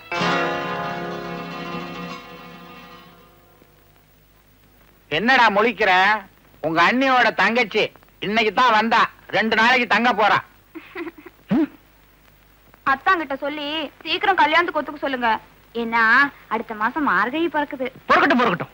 உனக்கு வருஷம் ஃபுல்லா மார்கழி தான். கொஞ்ச நேரத்துல. மாமா அத்தான் கோச்சுக்கிட்டு போறாரு. எங்கம்மா போயிடுவான்? பெரியவனுக்கு கச்சேரின்னு சொல்லி கல்யாணத்தை பண்ணி வச்சேன். இவனுக்கு கல்யாணம் பண்றதுக்கு எனக்கு ஒரு காரணமா கிடைக்காது. நீ கவலைப்படாத விடு. அப்பா அம்மா. ஏய் ஏன்டா அப்பா அப்பான்னு அப்பனை ஏல விடுற? ரெண்டு பேரும் அப்படியே நில்லுங்க. எங்க உங்க காலு? பின்னால வருது. விளையாடாதீங்கப்பா. குனிஞ்சு பாடுறா மூதேவி. என்ன ஆசீர்வாதம் பண்ணுங்க. பாரு பையனுக்கு யாரோ எதையோ பண்ணிட்டாங்க. அப்படியா? இல்லைன்னா இவ்வளவு மரியாதை நமக்கு கொடுக்க மாட்டானே. என்னடா இது? கால்ல விழுந்து ஆசீர்வாதம் வாங்குற? ஆமா இன்னைக்கு நான் ஒரு புது பிசினஸ் ஆரம்பிச்சிருக்கேன். அதுக்கு தான் உங்க ரெண்டு பேர்கிட்டயும் ஆசீர்வாதம் வாங்கினேன். போட்டோ கடையெல்லாம் மூடிட்டியா? கேமரா எல்லாம் உடைஞ்சு போச்சா? என்னப்பா எப்படி கேக்குறீங்க? அது பாட்டுக்கு அது நடக்கும். இது பாட்டுக்கு இது நடக்கும். ஏண்டா?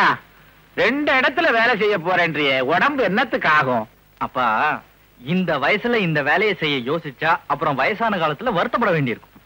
வாஸ்தவம் தான் வாஸ்தவம் தான் ஆமா நீ புதுசா தொழில் ஆரம்பிச்சிருக்கிறிய. வருமானம் எல்லாம் எப்படி? இப்பதானே முதலே போட போறேன். பத்து மாசம் கழிச்சுதான் பலன் கிடைக்கும். என்னங்க இது? பெட்டி படிக்கலாம் எடுத்துட்டு கிளம்பிட்டான்? எப்படிப்பட்ட வேலைன்னு விவரமா கேளுங்க. அது சரி நீ பார்க்க போற வேலை டேயா நைட்டா தொழிற்சாலையை இப்பதானே ஆரம்பிச்சிருக்கேன். போக போகத்தான் டேயா நைட்டான்னு தெரியும். போக போகத்தான் தெரியுமா? அது கிடக்கட்டும். தொழிற்சாலைன்னா சைக்கிள்லாம் வரும்னு சொல்லுவாங்களேடா. அதான் நம்ம தொழிற்சாலையில வராது. ஏன்னா இருக்கிறது ரெண்டே பேர். ரெண்டே பேரா? ரெண்டு பேரா. அப்ப அப்பாவையும் சேர்த்துக்கடா. உன் வேலைக்கு ஒத்தாசையா இருக்கும் சும்மா இருங்கம்மா. கூட்டம் அதிகம்னா குழப்பம் வரும். மூணு பேர்ல என்னடா குழப்பம்? அடே நீ போடுற முதலுக்கு நான் பாதுகாப்பா இருப்பேன்னு சொல்றான் அவன் சரி சரி. தொழில் சூடு பிடிச்ச உடனே சொல்லி அனுப்புறேன். நான் வரட்டா? இவ்வளவு உணர்ச்சி வசப்பட்டு போறானே. என்ன தொழிலா இருக்கும்? சும்மா இருங்க. ஊரை சுத்தாம உருப்படியா இருக்கால்ல? பாவம். ராத்திரிக்கெல்லாம் கண்ணு முழிக்கணுங்கிறான். அத நினைச்சாதான் எனக்கு கவலையா இருக்கு. ஏண்டி நான் முழிக்கலையா? நல்லா முழிச்சிங்களே. ஏய் அங்க பாருடி. ஏய் ஊருக்கு போனது மறந்துடாம எங்களுக்கு லெட்டர் போடுறி. ஏய் மாப்பிள்ளைய பார்த்தா ரொம்ப பரிதாபமா இருக்காரு. இல்லடி. ஏங்க அழுகுறீங்க? ஒண்ணு இல்லைங்க. அம்மா இருந்தா அஞ்சு பத்து கொடுப்பாங்களே. அவங்களும் போயிடுறாங்களே. அதனாலதான். சரி சரி. அழாதீங்க அழாதீங்க. இந்தாங்க. ஆட்டோ. ம் பாபா இந்த பெட்டி இங்க வச்சுக்கலாமா? வச்சுக்கோங்கம்மா. ஆமா புது வீடு எங்க இருக்குன்னு சொன்ன? நீங்க பேசாம வாங்க வீட்டை நான் காட்டுறேன். ம் கரெக்ட் நேர போப்பா. மச்சந்தி புது வீட்டுக்கு போனதும் அரை கிலோ அல்வா வாங்கி ஆளுக்கு பாதியா திடுபட்டு மதுரை மல்லிய கொட்டி அலங்காரம் பண்ணி குண்டுக்கு முண்டுக்க நடந்துக்கோம ஏங்க முதல்ல அல்வா கடைக்கு போறதா பூ கடைக்கு போறதா? யோ நேரம் பார்த்து ஓட்டியா? எங்க புது வீட்டுக்கு போனதும் என்னென்ன வாங்கணும் தெரியுமா? Colour TV fridge radio fan dining table வரவங்களுக்கு உட்கார சோஃபா இதெல்லாம் வாங்கணும். என்னங்க நான் பாட்டு பேச வரேன் நீங்க தூங்கிட்டு வரீங்க. ஏமா இந்த ஆளுக்கு அல்வாவும் பூவும் வேஸ்ட்டுமா யோ ரோட்டை பார்த்து நேரா ஓட்டியா?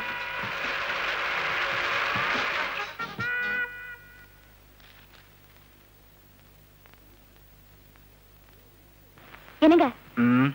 வீடு வந்தாச்சு. சரி போடி. மீட்டரை கட் பண்ணிட்டு உள்ள வாங்க. ம். ஆறு தொண்ணூறு. பார்வதி இங்க வா. யார் வந்திருக்கா பாரு. வாமா வா. வலது கால எடுத்து வச்சு வா. ஏமா உன் புருஷனை கூட்டு வரலையா? என்னங்க நீங்க? கல்யாணம் ஆகி புருஷனை புது வீட்டுக்கு கூட்டிட்டு வராம பழைய வீட்லயே விட்டுட்டு வருவாங்க. அட இருடே. யார் வீடு இது? நம்ம வீடு. ஆட்டோவை எடியா ஆட்டோவை எடியா? சார் உங்க சம்சாரம்? சம்சாரமாவது மின்சாரமாவது எடியா? சீக்கிரம். ஏமா கல்யாணத்தன்னைக்கே முகமூடிய போட்டுக்கிட்டு கழட்ட மாட்டேன்னு சொன்னானே இப்போவாவது கழட்டினானா இல்லையா? எங்க அவன்? ஆட்டோக்கு பணம் கொடுத்துட்டு இருக்காரு. ராஜி எங்க? மாடியில உனக்காக தான் ஒரு ரூம் அலங்காரம் பண்ணிக்கிட்டு இருக்க ஆமா என்ன ஆட்டோவுக்கு சில்லறை கொடுத்துக்கிட்டு இருக்கான்னு சொன்னா ஆட்டோவே காணமே. சில்லறை கிடைச்சிருக்காது. மாத்தி கொடுக்க போயிருப்பாரு. இங்கதான். நிறுத்து. அல்வா கடை இங்க இல்லையா சார்? நிறுத்தியா? நிறுத்து நிறுத்து. வண்டியில எந்த நேரத்துல ஏறணும் ஒண்டி கட்டி ஆயிட்டேன்.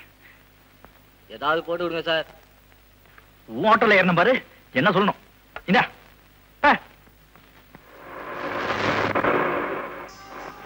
வீட்டுக்குள்ள நாம போகணும். அம்மாவையும் அப்பாவையும் வெளியேற்றணும். எப்படி?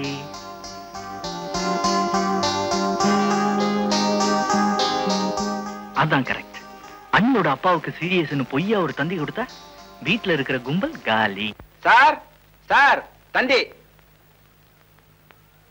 தந்திமா தந்தியா? ஐயோ எங்க மாமா தான் போயிட்டார் போல இருக்கே. என்னங்க? இப்படி கொஞ்சம் வாங்களே. ஐயோ? ஐயோ? தந்தி வந்திருக்குங்க. எங்க மாமா போயிட்டார் போல இருக்கே. அபசகன மாதிரி அழுதுகிட்டு கொண்டாயாங்க. கையெழுத்த போடுறேன். படிங்களே. ஐயோ ஐயோ ஐயோ என்னதோ. பாரதி. ஐயோ நான் மோசம் போயிட்டேன்டி. இங்கிலீஷ்ல தந்திய கொடுத்திருக்கிறானே. என்னையா ஏன் இப்படி அலற? தந்தி இங்கிலீஷ்ல வந்திருக்குடா. என்னங்க எழுதிருக்கு என்னடா பேசாம இருக்கிற? ராஜியோட அப்பா தவறி போயிட்டாராம்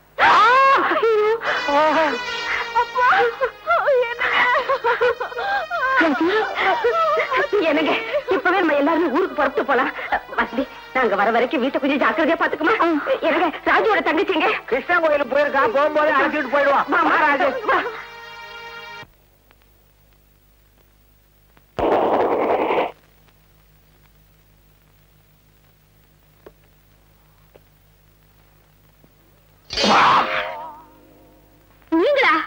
இந்த நேரத்துல வேற யாரை எதிர்பார்த்த? சும்மா இருங்க. எதுக்கா இவ்வளவு லேட்டு எங்க போயிருந்தீங்க? ஆட்டோக்காரனுக்கு வழி தெரியல. அதான் லேட் உங்களுக்கு ஒண்ணு தெரியுமா? இந்த வீட்ல இருக்கவங்க எல்லாம் ஊருக்கு போயிட்டாங்க. தெரியுமே. தந்தி வந்திருக்கும். உங்களுக்கு எப்படி தெரியும்? கொடுத்தவனுக்கு தெரியாதா? போஸ்ட்மேன் கொடுத்தால அவன் சொன்னான். அதெல்லாம் இருக்கட்டும். இத பாரு. வீட்ல யாரும் இல்ல.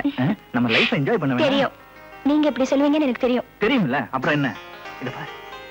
நிலா காயுது நேரம் நல்லா இருக்கு. ஆ, அன்னைக்கு பாதியில விட்டுமே பாட்டு. அது முடிக்க வேண்டாம். நீங்க பாட ஆரம்பிச்சீங்கன்னா அவங்க எல்லாம் எந்திரிச்சு போயிடுவாங்க.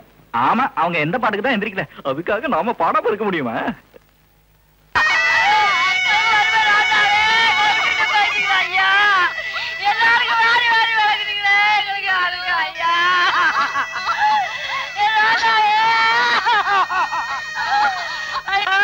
மகாராசா. வாரி வாரி கொடுத்தாரு. கேட்கும் போதெல்லாம் அள்ளி அள்ளி கொடுத்தாரு. புள்ளைக்கு கல்யாணம்னு சொன்னேன். ஆயிரம் ரூபாய் தூக்கி கொடுத்தாரு. இத்தனை நாளைக்கு நோய் நொடின்னு படுத்ததே இல்ல. மாளிகை மாதிரி வீட்டை கட்டி விட்டுட்டு இப்படி மண்டைய போட்டாரு. சம்மந்தி சம்மந்தி சம்மந்தி சம்மந்தி ஐயோ சம்மந்தி சம்மந்தி சம்மந்தி இப்படி சொல்லிக்காம கொள்ளாம போயிட்டீங்க சம்மந்தி சம்மந்தி சம்மந்தி கட் கட் கட் கட். யார் யார் ஷூட்டிங் எடுக்கும்போது குறுக்க வராது கூப்பிட்டு அந்த வீட்டு ஓனரை. ஷூட்டிங்கா அப்ப நாற்பது ரூபா வேஸ்டா இருபது ரூபாய்க்கு வாங்கிக்கிறீங்களா? வாயா. யார் யாது? குறுக்க பூந்து கரெக்டா பண்றது? ஐயோ சம்மந்தி இன்னும் நீங்க சாகலையா என்னது? மாமா உங்களுக்காக வாங்கினது வேணாமா அடடே இத பார்த்து பயந்துட்டீங்களா? இது வேற ஒண்ணுமில்ல சம்பந்தி. வீட்டை ஷூட்டிங்காக விட்டுருந்தேன். அவ்வளவுதான். டைரக்டர் இது என் சம்பந்தி. இது என் மருமக இது என் பொண்ணுங்க. வணக்கம் சார். ஏன் சம்பந்தி உங்களுக்கு ஏதாவது விவரம் இருக்கா? புதுசா வீட்டை கட்டி சாவு சீன் எடுத்துக்கிட்டு இருக்கானுங்க. ஒரு கல்யாண சீன் எடுக்கப்படாது. கல்யாணத்துக்கு தானே விட்டேன். பொண்டாட்டி ஓடி போயிட்டாளாம் அதனால புருஷன் செத்த காட்சி எடுத்துக்கிட்டு இருக்காங்க. கதையை மாத்துறது. வீட்டுக்காக கதையை மாத்த முடியுமா? கதையை மாத்திருங்க. கதையை மாத்துறதா? என்கிட்ட சொல்றீங்களா?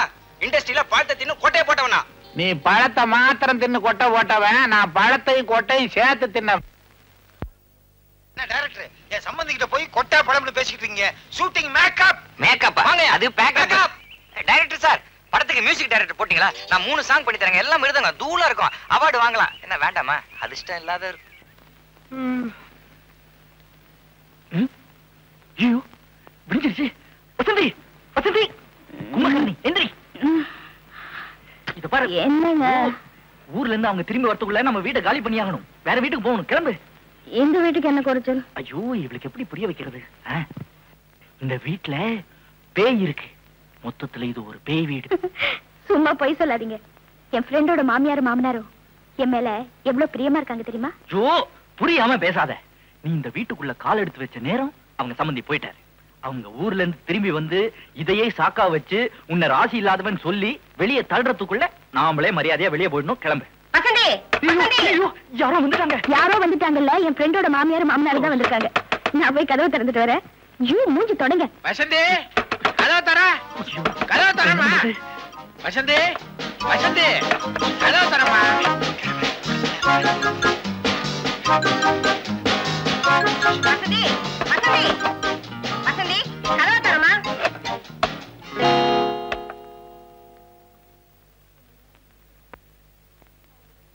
என்ன எல்லாரும் மன்னிச்சிருங்க. நான் இந்த வீட்டுக்கு வந்த வேலை உங்க அப்பாவுக்கு இப்படி ஆயிடுச்சு. எங்க அப்பாக்கு ஒண்ணு இல்லடி. என்ன சொல்ற? சம்பந்திக்கு ஒண்ணும் இல்லம்மா. அவர் குத்துக்கல்லு மாதிரி இருக்காரு. அவருக்கு வேண்டாத எவனோ தந்திய கொடுத்திருக்கான்.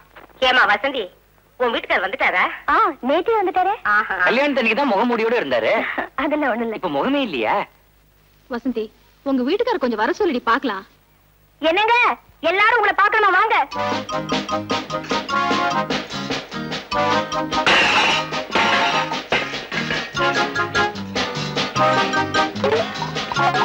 வாங்க தம்பி வாங்க.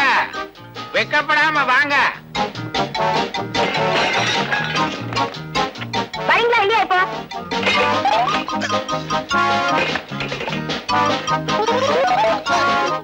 வாங்க. இல்லைன்னா நாங்க வரட்டுமா? வேண்டாம் வேண்டாம். நானே வரேன்.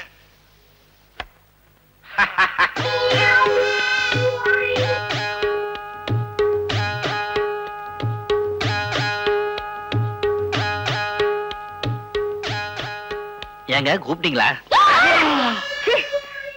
ஐயோ என்னங்க இது?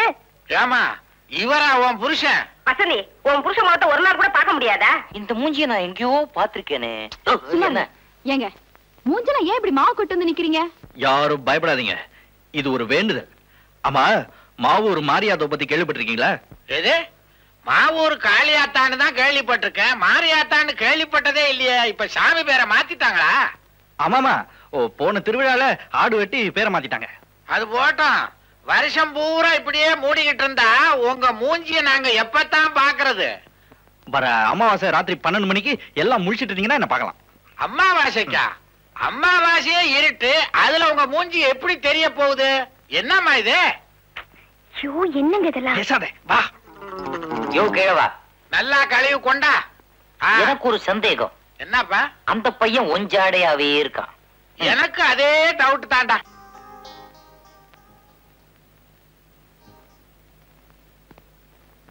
என்னோட கவலை எல்லாம் இப்போ வீட்ல இருக்கிற கேரக்டர்ஸ எப்படி சமாளிக்கிறதுங்கிறதான். ராஜி! என்னங்க இத வந்துட்டேன். அதை அப்படியே விட்டு வா. அப்படியே விட்டா பக்கெட் உள்ள போயிடாதா? வள்ளுவர் கூப்பிடும்போது வாசுகி அப்படியே தானே விட்டு வந்தாங்க? பக்கெட் நிக்கல. ஆனா நீ விட்டா பக்கெட் உள்ள போயிடும். ஏன்னா உனக்கு பதிபக்தியே கிடையாது. சரி பதிபக்தி வானா? பாதி பக்தியாவது இருக்கலாம்ல. என்ன விஷயம்? என்ன விஷயமா? என்னோட சீப்பு ஒரு மணி நேரமா காணும். தேடுறேன் எங்க ஒளிச்சு வச்ச? இதுக்கா இவ்வளவு கூச்சல்? உங்களுக்கு எதுக்கு என் சீப்பு? சும்மா கையில தடவி கூடாதா? என் தலைமுடிய கேலி பண்ற அளவுக்கு ஆயிட்டியா நீ? என்னங்க உங்க தம்பி எவ்வளவு அழகா முடி வச்சிருக்காரு. அந்த மாதிரி நீங்களும் வச்சு கூடாதா? எனக்காக? ஏண்டி நீ என்ன கல்யாணம் பண்ணிட்டு என் தம்பியை கல்யாணம் பண்ணி ஐயோ நான் என்ன சொல்ல வந்தேன்னா? இன்னைக்கு என் தம்பியை சொன்னேன் நாளைக்கு ரோட்ல போறவன பார்த்து அவன மாதிரி ட்ரெஸ் பண்ணிக்கன்னு சொல்லுவேன் அப்படியெல்லாம் பேசாதீங்க. அப்படிதாண்டி பேசுவேன். இப்போ உன்னை உங்க அப்பா வீட்டுக்கு பேக் பண்றேன். என் தலையில நிறைய முடி முளைச்சதுக்கு அப்புறம் லெட்டர் போடுறேன் வா. ஐயோ என்னங்க என்னங்க?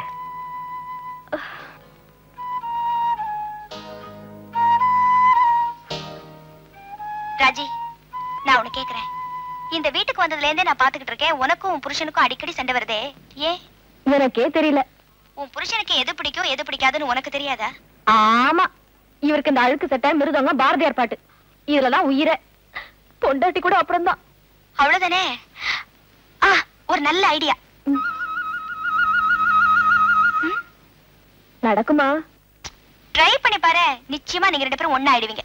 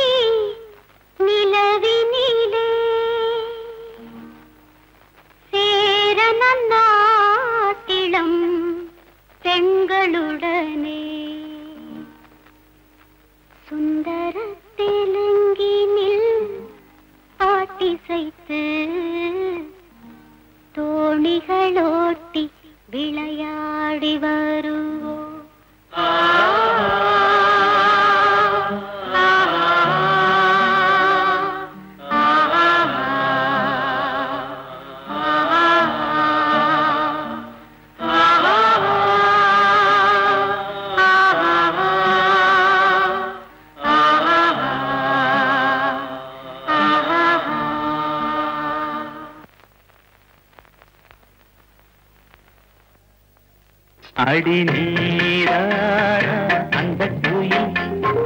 யார் வீட்டு சொந்த குயில்?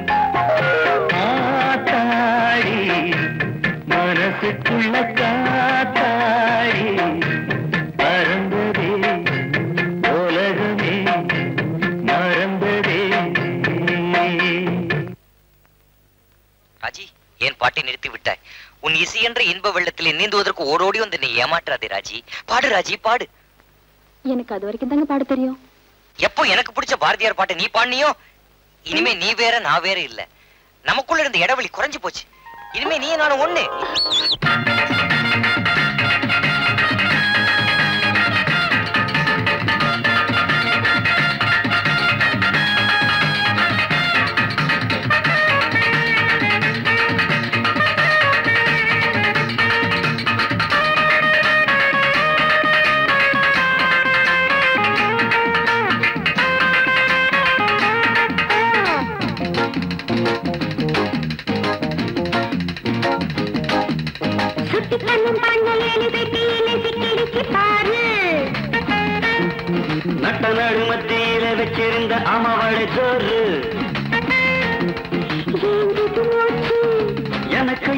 மோகம் வந்தாச்சு. நீ வந்தாச்சு.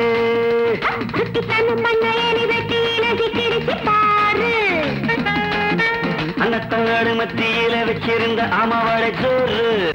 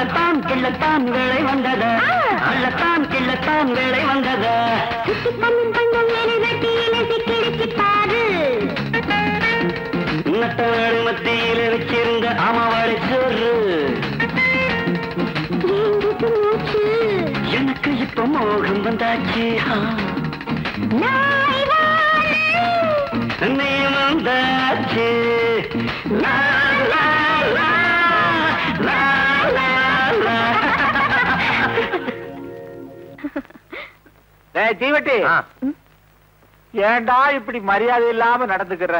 அப்ப உனக்கு அறிவு இருக்கா? செக் போஸ்ட்ல லாரியை மடக்கிற மாதிரி மடக்கிறிய. நைட் ஷோ சினிமா பார்த்துட்டு அதே மூட்ல பெட்ரூம் போயிட்டு இருக்கேன் என்ன வேணும் உனக்கு?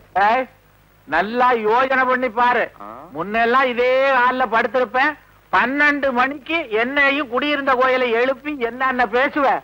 இப்ப எல்லாம் ஏன்டா பேச மாட்டேன்ற? உனக்கு நான் என்னடா பாவம் செஞ்சேன்? மாமா இப்பதான் நான் ரெண்டு பேரும் ஒண்ணு சேர்ந்துட்டோம்ல. எங்கே கண்ணு முடிச்சிட்டு இருக்கீங்க. போய் தூங்குங்க. பழக்கப்படுத்திட்டானே தூக்கமே வரலையே. என்னடா படம் பார்த்த? அந்த கதையாவது சொல்றான் ஒரு அப்பன் தன் பையனை பயங்கரமா துரத்துறான். பையனுக்கு வெறி வந்து ராத்திரி ஒன்றரை மணிக்கு அப்பனை அறிவாள் எடுத்து வெட்டிடுறான். இப்ப மணி ஒண்ணு இருபத்தஞ்சு. வெட்டுறதுக்கு அஞ்சு நிமிஷம் இருக்கு. பாரு பாரு பாரு. இந்த அநியாயத்தை பாரு. எந்திரிச்சு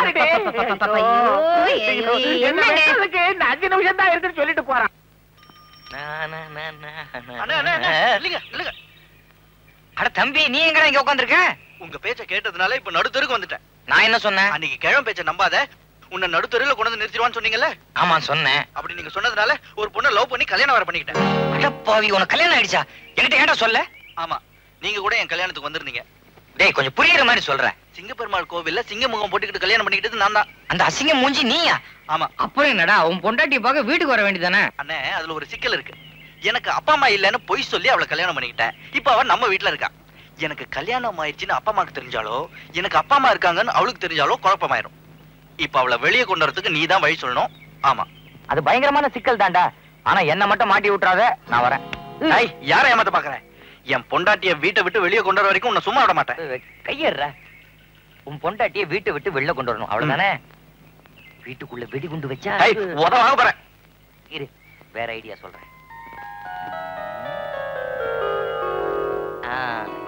இப்படி பண்ணு.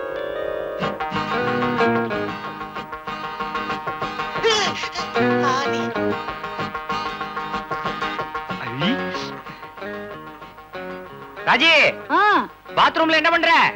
குடிச்சிட்டு இருக்கேன். இப்படி நகையெல்லாம் வெளில எடுத்து வச்சிருக்கிய யாராவது திருட எடுத்துட்டு போயிட்டா என்ன செய்வ? வீட்டுக்குள்ள யாரும் வந்து எடுக்க மாட்டாங்க. நீ சொல்றதுதான் கரெக்ட் யாரும் எடுக்க மாட்டாங்க. என்னம்மா கூப்பிட்டியா? கணேசா இந்த வத்தலை கொண்டு போய் மாடியில காய வச்சிட்டு வா. ஐயோ என் திட்டப்படியே சொல்ற நீ நல்லா இருக்கணும். நான் நினைச்சபடியே கிழவன் நல்லா தூங்குறான். பிளான் பக்காவா வேலை செய்யுது ஐயா.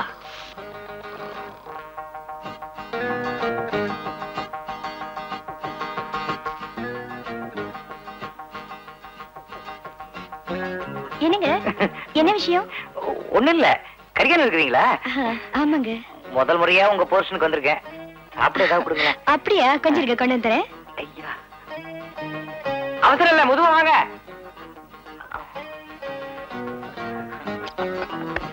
ஒண்ணு வேணாம். என்னங்க? ட்ரெஸ்ஸிங் டேபிள்ல வச்சிருந்த நகையெல்லாம் காணுங்க. ஏமா குளிக்க போகும்போது நகைய பீரோல வைக்க வேணாம். வெளியில வச்சதுனால காணாம போச்சு. எனக்கு ஒருத்தர் மேல சந்தேகம். ஆனா நான் சொல்றதை நீங்க யாரும் நம்ப மாட்டீங்க. நம்புறேன்டா சீக்கிரம் சொல்லி தொலைடா. உன்னோட ஃப்ரெண்டு வசந்தி. என்னங்க? என் ஃப்ரெண்ட் வசந்தி அப்படிப்பட்டவ இல்ல.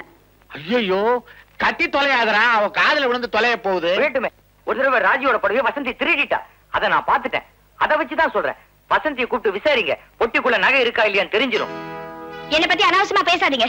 ராஜியோட வீட்டுக்கார் சொன்ன மாதிரி அந்த நகை இந்த பெட்டிக்குள்ள இருக்கான்னு நீங்களே பாத்துக்கங்க கொண்டாமா இந்த பொட்டியில மாத்திர நகை இல்ல உன்னை வெட்டி பலி போட்டுருவேன். அந்த பெட்டிக்குள்ள நிச்சயமா நகை இருக்கும். எனக்கு தெரியாத.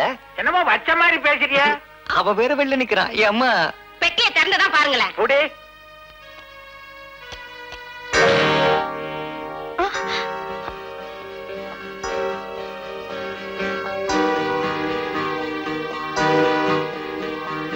பாத்தீங்களா?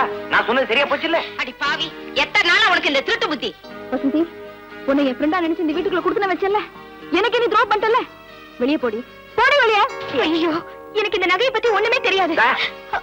இதை விட வேற என்ன சாட்சி வேணும்? இந்த பாருமா நீ ராஜியோட ஃப்ரெண்டாச்சேன்னு உன்னை சும்மா விடுறேன். இல்லைன்னா போலீஸ்ல கம்ப்ளைண்ட் பண்ணி உன்னை உள்ள தள்ளிடுவேன். போ வெளியே. ராஜி போடி வெளியே போமா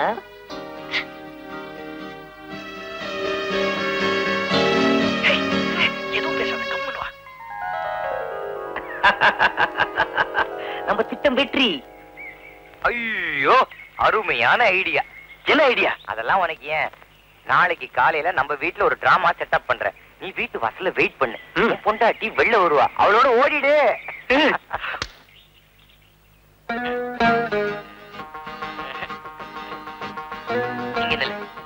என் பிளான் படி நீங்க தான் இருக்கணும். இற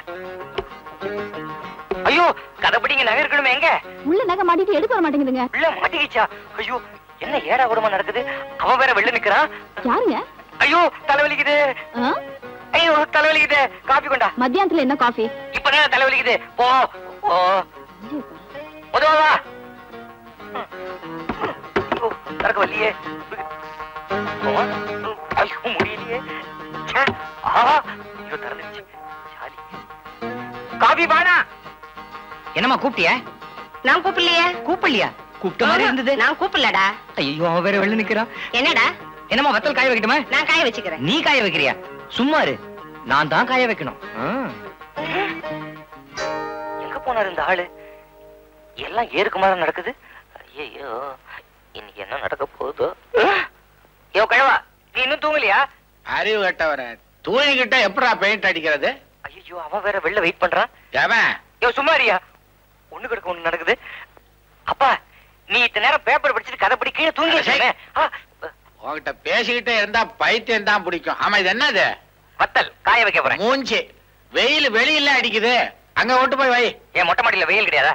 ஒத்தியா மொட்டை மாடிக்குத்தான் நான் படியே கட்டலையே. இவன் எப்படி அங்க போவான்?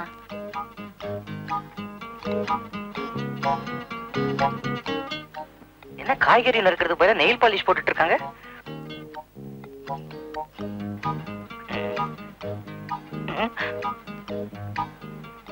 புட்டியை காணும். எங்க எடுத்து வச்சிருப்பாங்க.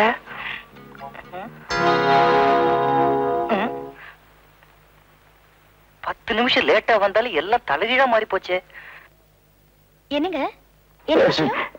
என்னங்க கரிகாலம் இருக்காம நெயில் பாலிஷ் போடுறீங்க? அதெல்லாம் நான் பத்து நிமிஷத்துக்கு முன்னாடி முடிச்சிட்டேனே. கொஞ்சம் லேட்டா இப்படிதான். சமையலா? வந்து என்ன சொல்றீங்க? ஆமா அந்த பொட்டி யார் மேல எடுத்து வச்சது? நான் தான் எடுத்து வச்சேன். ரொம்ப தேவை இப்ப என்ன அவசரம்? ஆமா நீங்க என்ன விஷயமா வந்தீங்க? ஒண்ணும் இல்ல உங்க புருஷனை பார்த்து நாலு வார்த்தை பேசிட்டு போலான்னு வந்தேன். இல்லையா? அவர் வெளியே போயிருக்காரு. நான்- முத முதல்ல உங்க புருஷனுக்கு வந்திருக்கேன். சாப்பிட எதனாச்சும் கொடுங்களேன். ஐயோ இப்பதான் எந்ததெல்லாம் பிச்சைக்காரனுக்கு போட்டேன்.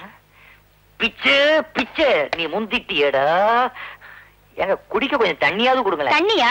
உள்ள போய் குடிங்களே போய் குடிக்கிறதா? விட்டா என்னைய கண்ணில் தோண்ட சொல்லுவீங்க போல இருக்க. உள்ள போய் தண்ணி கொண்டு வாங்க. அவ பேரு வெளில நிக்கிறான் யாரு? உங்களுக்கு சொன்னா புரியாதுங்க. போங்க.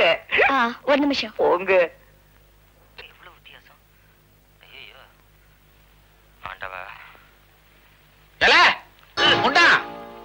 என்ன செய்யற ஏன் கிழவா. என்ன நீ கிடுகிடுன்னு மாறி வந்துட்ட? என்ன சொல்ற? உனக்கு வேலை இருக்கியா? என்ன வேலை? சொன்ன கேளியா நீ தான் ஏன் சஸ்பென்ஸ் உடைக்கணும்? என்னத்த சஸ்பென்ஸ் உடைக்கணும்? கீழே போயா!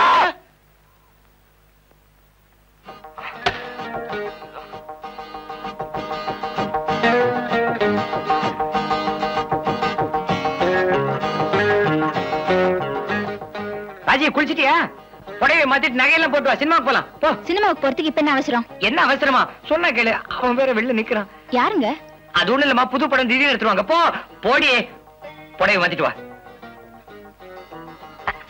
உன்னை எங்க கொண்டு நிறுத்துறேன் பார். வெயிட் பண்ணு.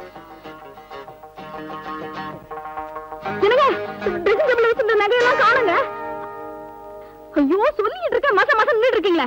ஏண்டா உன் பொண்டாட்டி நகைய காணாங்கிற பதட்டப்படாம நிக்கிறிய? எதுக்காக பதட்ட பண்ணும்? நான் ஒரு உண்மையை சொல்ல போறேன். ஆனா நீங்க அதை நம்பணும். சீக்கிரம் சொல்லி தொலையேண்டா. மேல இருக்கிற பொண்ணை கூப்பிட்டு பக்குவமா விசாரிச்சீங்கன்னா தலகாணிக்குள்ள இருக்கிற நகை கப்புன்னு வெளில விழும். என்னங்க?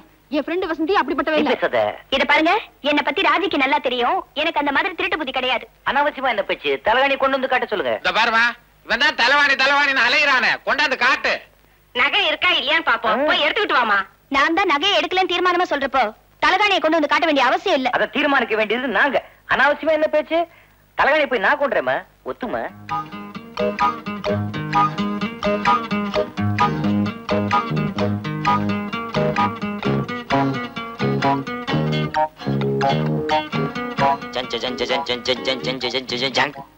பாருங்க எவ்வளவு கனமா இருக்கு நல்லா கையை விட்டு தோண்டி பாருங்க தொலைஞ்சு போன நகையெல்லாம் கிடைக்கும் நீ நல்லா மாட்டிக்கிட்டமா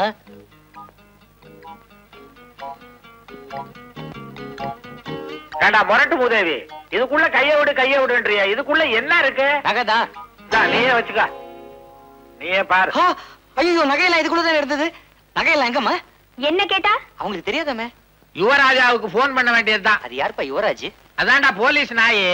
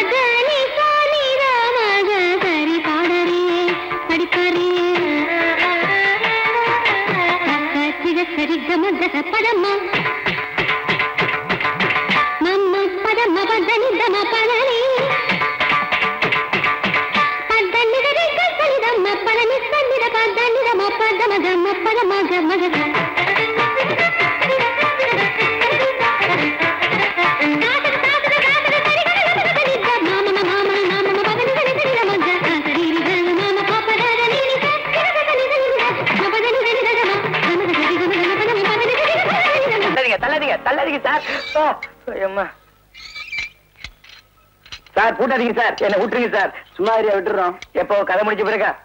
தம்பி உன்னை பார்த்தா படிச்சவன் மாதிரி இருக்கு. உன்னை எதுக்காகப்பா உள்ள தள்ளினாங்க? இப்பெல்லாம் உள்ள தள்ளுறதுக்கு தப்பு பண்ணணும் இல்ல. அவங்களுக்கு பிடிக்கலன்னா உள்ள தள்ளிடுவாங்க. அப்படி என்னப்பா தப்பு பண்ண? சொல்றேங்க. சொந்த தம்பிக்கு உதவி செய்ய போய் உள்ள வந்து மாட்டிக்கிட்டேன். எப்படி எப்படி? யோ என்னைய அடுத்தவங்க கஷ்டத்தை எவ்வளவு ஆர்வமா கேக்குற? நான் என்ன கதையா சொல்றேன்? எதுக்காக கேக்குறேன்னா நீ நாளைக்கு தப்பு பண்ணா கூட போலீஸ்ல மாட்டிக்காம இருக்கிறதுக்கு நான் வழி சொல்லுவேன்ல. சொல்றேன். ஒரு நல்ல காரியத்துக்காக என் பொண்டாட்டி நகையெல்லாம் எடுத்து எங்க வீட்டு மாடியில ஒரு இடத்துல ஒளிச்சு வச்சேன். பழி இன்னொருத்தர் மேல விழும். நம்ம பிளான் பக்காவா ஒர்க் அவுட் ஆகும்னு நினைச்சேன். ஆனா பழி என் மேல விழுந்துடுச்சு. நகையெல்லாம் எவனோ நெஜ திருடன் அடிச்சிட்டு போயிட்டான். யா அடிச்சிட்டு போயிட்டான்.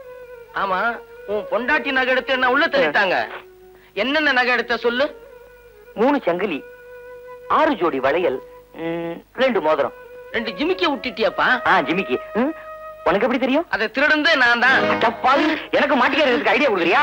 சார் இன்ஸ்பெக்டர் இவன் தான் நிஜ திருடன் அரெஸ்ட் பண்ணுங்க. உள்ள சொல்லுங்க. சார். தம்பி நல்ல நேரத்துல நீ வந்த. நம்ம வீட்டுல நகையை திருடணும் இவன் தான். இன்ஸ்பெக்டர் சொல்லி என்ன கூட்டு போப்பா இன்ஸ்பெக்டர் ஐயா ஒரு வீட்டுல நகை திருடந்தே நான் தான் யோ ஒன் நாட் த்ரீ அந்த ஆளை வெளியே கொண்டாயா? கான்ஸ்டபிள் வாங்க. சார் என் அண்ணன் ஒரு அப்பாவி. கொஞ்சம் உட்காருங்க உங்க அண்ணனை விசாரிச்சதுக்கு அப்புறம் கூட்டு போங்க.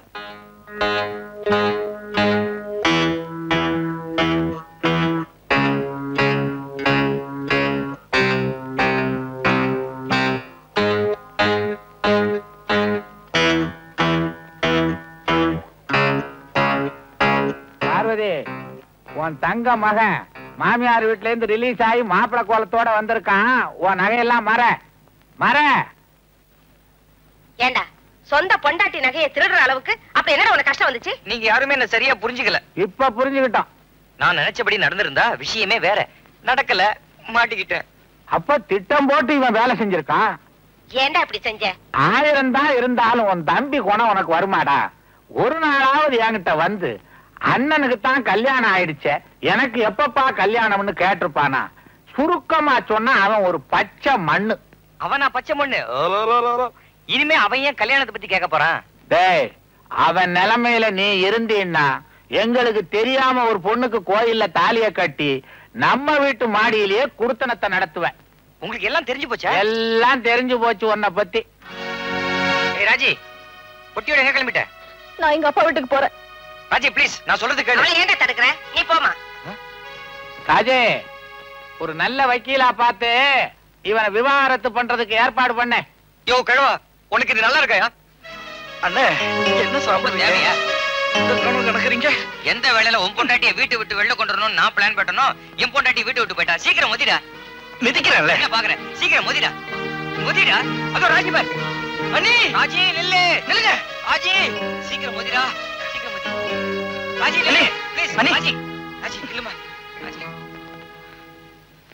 அண்ணன் மேல எந்த தப்பும் இல்ல. என்னையும் என் பொண்டாட்டியும் சேர்த்து வைக்கத்தா அண்ணன் நகை எடுத்தாரு. என்ன? உங்க பொண்டாட்டியா? உங்களுக்கு கல்யாணம் ஆயிடுச்சா? ஆமா உன் ஃப்ரெண்டு வசந்தி தான் இவனோட ஒய்ஃப் ஆமா நீ வசந்தி நானும் காதலிச்சோம். வீட்டுக்கு தெரியாம கல்யாணம் கூட பண்ணிக்கிட்டோம். உன் ஃப்ரெண்டு வசந்தி நம்ம வீட்ல தங்க வச்சதான் இவனுக்கு சிக்கலா போச்சு? ஆமா நீ வசந்தி நானும் ஒரு நாளாவது சந்தோஷமா இருக்கணும்னு தான். உங்க அப்பா போயிட்டாருன்னு பொய்யா ஒரு தந்தியை கொடுத்து உங்களெல்லாம் வீட்டை விட்டு வெளியே அனுப்புனேன். பாவம் மன்னிச்சு விட்டுரு. நீங்க சும்மா இருங்க. என்னால வீட்டுக்குள்ள வந்து வசந்தியை சந்திக்க முடியல. அதனால தான் அவளை வெளியே கொண்டு வரதுக்கு அண்ணன் கிட்ட ஐடியா கேட்டேன். வசந்தி மேல ஏதாவது பழிய சுமத்தினாதான் வசந்தியை வீட்டு விட்டு துரத்த முடியும்னு உன்னோட நகையெல்லாம் எடுத்து வசந்தியோட தலைவணிக்குள்ள வச்சேன். ஆனா என்னோட போராத வேலை. எவனோ நெஜ திருட அடிச்சுட்டு போயிட்டான். இது நடந்திருக்கா ஆமா நீ. என்னாலதான் இவ்வளவு குழப்பமோ? தயவு செய்து வீட்டுக்கு வாங்க. அவசரப்பட்டு நான் உங்களை தப்பா புரிஞ்சுக்கிட்டேன். என்ன மன்னிச்சிருங்க. பரவாயில்ல இப்போது உண்மையை புரிஞ்சுக்கிட்டியே. வசந்தியோட புருஷன் யாரோன்னு எங்க அப்பா அம்மா நினைச்சிட்டு இருக்காங்க. அது யாரோ இல்ல இவன் தான் வசந்தியோட புருஷங்கிற விஷயத்தை வீட்டுல போய் சொல்லிடலாம் வா போலாம். ஷபாஷ் சாதாரண ஒரு நெகட்டிவ் விஷயத்துக்காக என்ன துவைச்சு எடுத்துட்டல்ல? பட்டப்பகலில் இளம்பெண் கடத்தல். அண்ணா நகரில் நேற்று நடந்த ஒரு துணிகரமான சம்பவம். பின்வருமாறு. நேற்று பட்டப்பகலில் ஒரு டிப்டாப் ஆசாமி அண்ணா நகரில் ஒரு வீட்டிற்குள் நுழைந்தான். அப்போது வீட்டுக்கு சொந்தக்காரர் ஊஞ்சலில் ஆடிக்கொண்டு மும்மரமாக பேப்பர் படித்துக் கொண்டிருந்தார். இதையே தனக்கு சாதகமாக பயன்படுத்தி கொண்டு டிப்டாப் ஆசாமி மெதுவாக மாடிப்படிகளில் ஏறினான். மாடியில் உட்கார்ந்து துணி தைத்துக் கொண்டிருந்த அந்த பெண்ணிடம் அம்மா என்னுடைய பர்த்டே பார்ட்டியில் உங்கள் கணவர் மது அருந்தி மயக்க நிலையில் வாந்தி எடுத்தபடி இருப்பதால் வீட்டில் உள்ள மற்றவர்கள் யாரிடமும் சொல்லாமல் தங்களை மட்டும் அழைத்து வரச் சொன்னதாக சொல்ல அந்த பெண்ணும் அதை நம்பி பலியாடாக அவனை பின்தொடர்ந்தாள். அப்போதும் வீட்டுக்கு சொந்தக்காரர் பேப்பர் படித்தபடியே இருந்தார் பரதேசி பையன். அப்படி அந்த பத்திரிகையில என்னதான் படிச்சிருப்பான்? அக்கம் பக்கத்துல யார் போறாங்கன்னு பார்க்க வேணாம். இவெல்லாம் ஒரு மனுஷனா. இவன்களை எல்லாம் அதே பேப்பர்ல சுத்தி கொன்னாலும் தப்பு இல்ல. ஆனால் விதி வீட்டுக்கார அம்மாள் ரூபத்தில் வந்தது. அந்த அம்மாவிடம் இருந்தும் டிப்டாப் ஆசாமி தப்பி விட்டான் இது பற்றி போலீஸ் புலன் விசாரிக்கிறது. என்னங்க விஷயம் தெரியுமா உங்களுக்கு? வசந்தியோட புருஷனுக்கு ஏதோ ஆக்சிடென்டா அவளோட புருஷனோட ஃப்ரெண்ட் வந்து இப்பதான் அவளை கூட்டிட்டு போறான். போறான் மூதேவி. எப்ப பார்த்தாலும் மூஞ்சியில மாவை கரைச்சு ஊத்திக்கிட்டு அடையாளம் தெரியாம அலையிறது கண்ணு தெரியாம லாரியில மோதி இருப்பான். போட்டோம் டிரைவர் வண்டி அடியா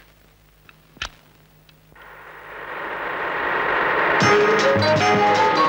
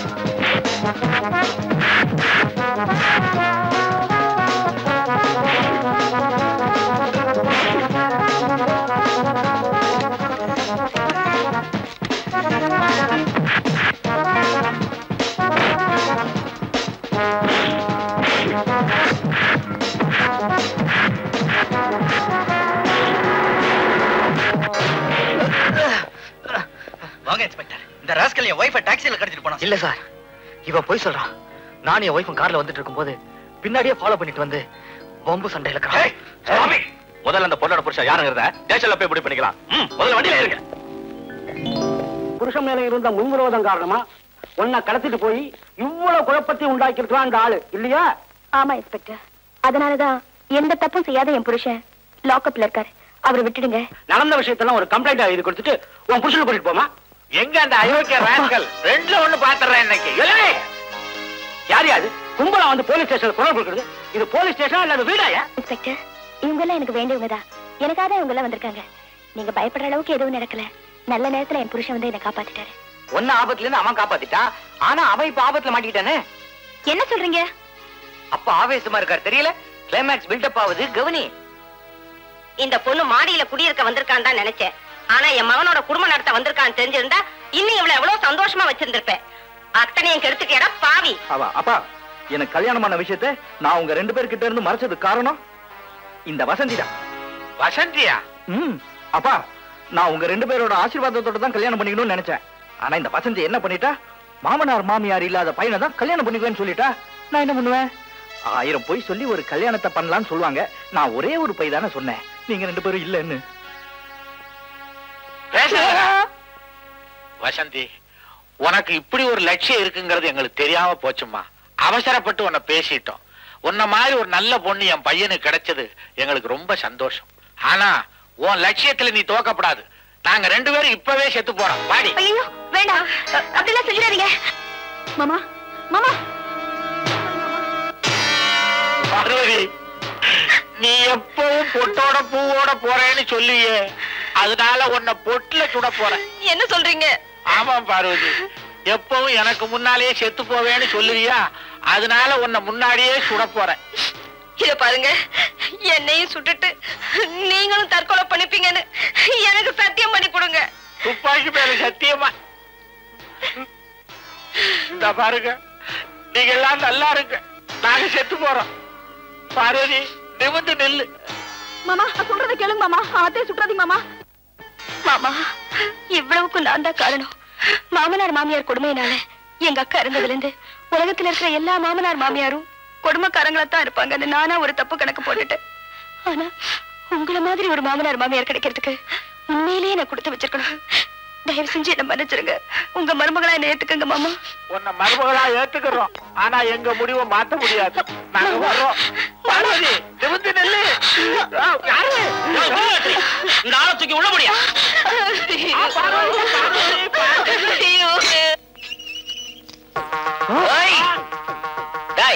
உனக்கு உதவி செய்ய போய் தாண்டா ஒரு தடவை நான் கம்பி எண்ணினேன் இப்ப அப்பாவிய லாக்கப்புக்குள்ள தள்ளிட்டேன் குடும்பத்தையே போலீஸ் ஸ்டேஷன் கொண்டு வந்தவன நான் சும்மா விட மாட்டேன். பாக்கிய நான் பேசிடுறேன்.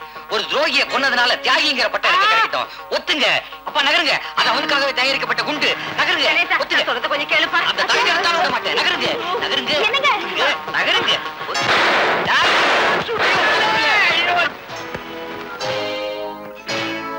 சரியான கொலகார குடும்பமா இருக்கும் போட்டுக்க. ஓ திருநாத்திரி நான் தூக்கி விட முடியா? பார்வதி நடந்தது நடந்து போச்சு. வருத்தப்படாத. வசந்தி நீ போ. ஒரே நாள் தப்பிச்சு வந்துடுறேன். ராஜி! வீட்டுக்கு போய் ஆரத்திக்கு ரெடி பண்ணுமா? நாளைக்கு இவங்களுக்கு முன்னாடி நான் மட்டும் வந்துடுறேன். சரிங்க. இன்ஸ்பெக்டர் எனக்காக ஒரு பத்து நாளைக்கு இவங்க மூணு பேரையும் உள்ளேயே வச்சிருங்க. இவங்க தொல்லை இல்லாம என் மருமக ரெண்டு பேரையும் கூட்டிக்கிட்டு கோயில் குளம் போயிட்டு வந்துடுறேன். பாவி! பேசாம இருங்க. வாமா அம்மா நாங்களும் கோயிலுக்கு வரோம்மா. இன்ஸ்பெக்டர் சாவி எங்க? போலீஸ் ஸ்டேஷன் போய் வெடிகுண்டு இருக்கு ஐயா உள்ள இருக்கிறவங்க எல்லாம் வாங்க வெளியில. போலீஸ் ஸ்டேஷன்ல பாம்பு வச்சிருக்காங்க யாரும் உள்ள போகாதீங்க சொன்னா கேளுங்கம்மா. இல்ல போங்க. பாம்பு வச்சிருக்காங்க. எப்படியும் வெடிச்சிடும் போங்கம்மா. சொன்னா கேளுங்க. பாம்பு வெடிச்சிட போகுது சீக்கிரம் போங்க. ஐயோ அம்மா.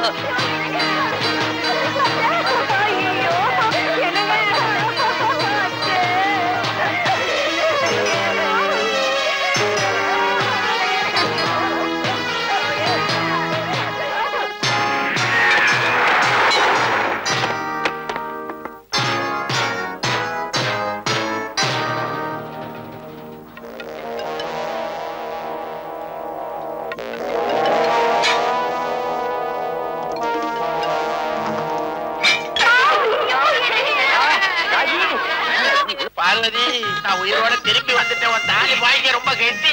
மாமா! ஆ, அம்மா நீயா? ஐயோ ராஜி